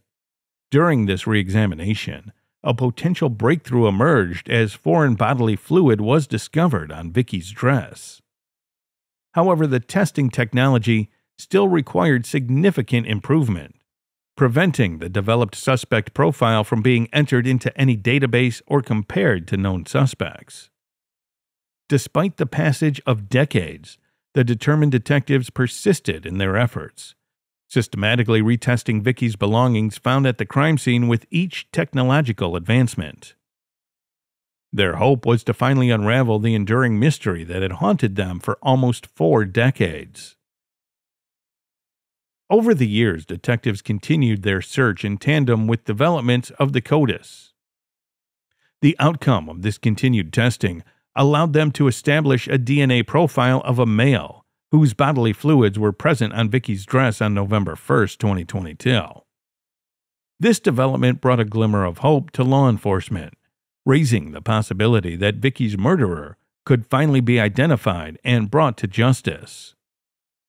The recently created DNA profile underwent comparison with entries in CODIS, or the Combined DNA Index System, if you're not aware of CODIS, it's like a big DNA database run by the FBI. It helps state and local crime labs keep and check DNA information from different crime scenes. Following an examination of multiple profiles, the forensic department discovered a match in their system. The identified profile belonged to Andre Taylor, a 63 year old man from Washington, D.C. Not much is known about Andre's parents or what he did in his early life. During the investigation, it was revealed that around the time of Vicky's murder, Andre lived in his aunt's residence in Charles County, situated less than four miles from the location where Vicky's body was discovered. Detectives managed to find Taylor's DNA in the national database as he was arrested for several violent crimes which occurred in Washington, D.C. He was a few months shy of his 19th birthday when he committed this heinous crime. However, suspicion was not enough to make an arrest. The detectives required more substantial evidence to connect him to the dreadful crime. Finding Andre proved to be a problem, as he was consistently changing his whereabouts since 2019. Finally, in March of 2023, the detectives located him in a nursing home in Washington, D.C. Armed with a search warrant acquired through the aid of the United States Homeland Security Investigations D.C. Metropolitan Police Department and the U.S. Secret Service Baltimore Field Office, Taylor was confronted and a swab of his saliva was obtained for a direct comparison with the DNA from the crime scene.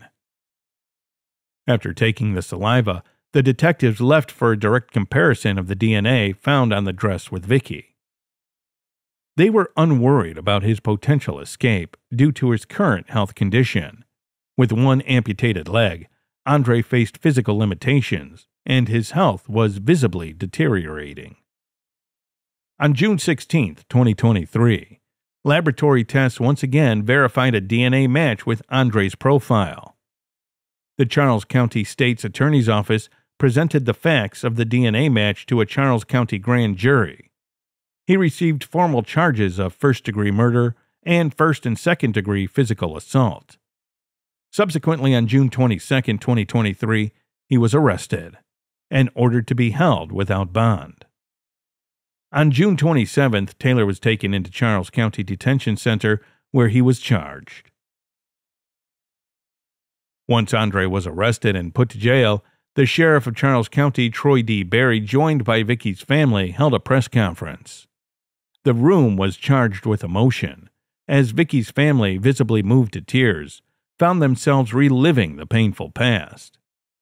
Lamont Belk, Vicky's son, now 51, expressed gratitude towards law enforcement. I have the honor and privilege of speaking on behalf of our family and really coming forward with much and tremendous gratitude to Sheriff Berry and to the Honorable Tony Covington, the state's attorney for this county, for leading the investigation and now prosecution of this case. And thank God for touching their hearts and minds and all of those whom they supervise for making this day possible. Judy Belk, Vicky's sister, warmly reminisced about her departed sibling, sharing a cherished memory. Ricky Belk, Vicky's brother, also reflected on the profound impact the tragic incident had on their mother. Vicky's son achieved significant milestones, graduating from Morehouse College and George Mason University Law School in 2009. He pursued a career as the Assistant District Attorney of Tulp County, Georgia. Kay, Vicky's sister, retired as a sergeant from the Contra Costa County Sheriff's Office in California. Lonnie, also known as Ricky Belk, brother of Vicky, serves as a lieutenant in the Fairfax County Fire and Rescue Department. In the aftermath of Vicky's tragic murder, the Belk family established the Vicky Belk Scholarship Foundation in 1980 to honor her memory and provide scholarships. Operating under the role of the scholarship board, the foundation aims to raise funds for graduating seniors at Oakland Baptist Church in Alexandria, Virginia, where Vickie was baptized. Their objective is to offer opportunities to carry forward the legacy of Vickie Lynn Belk. Despite the case lasting for years, it is still a mystery why Andre took Vickie's life. Vickie's opportunity for a good life was inhumanely taken away, deeply affecting those who held her dear. However, with her killer now behind bars, a sense of closure and relief has settled within the family. Now, let's hear what you make of this case. In light of the challenges faced during the investigation, and the emotional toll on families, how can the criminal justice system be improved further to provide more timely and compassionate support for the victims' families? And what community based initiatives can be implemented to support families enduring the prolonged uncertainty of unsolved cases and ensure they receive the assistance they need? If there's a case you'd like us to cover, then drop your recommendations in the comment section below. For more captivating true crime stories, like, share, and subscribe to our channel.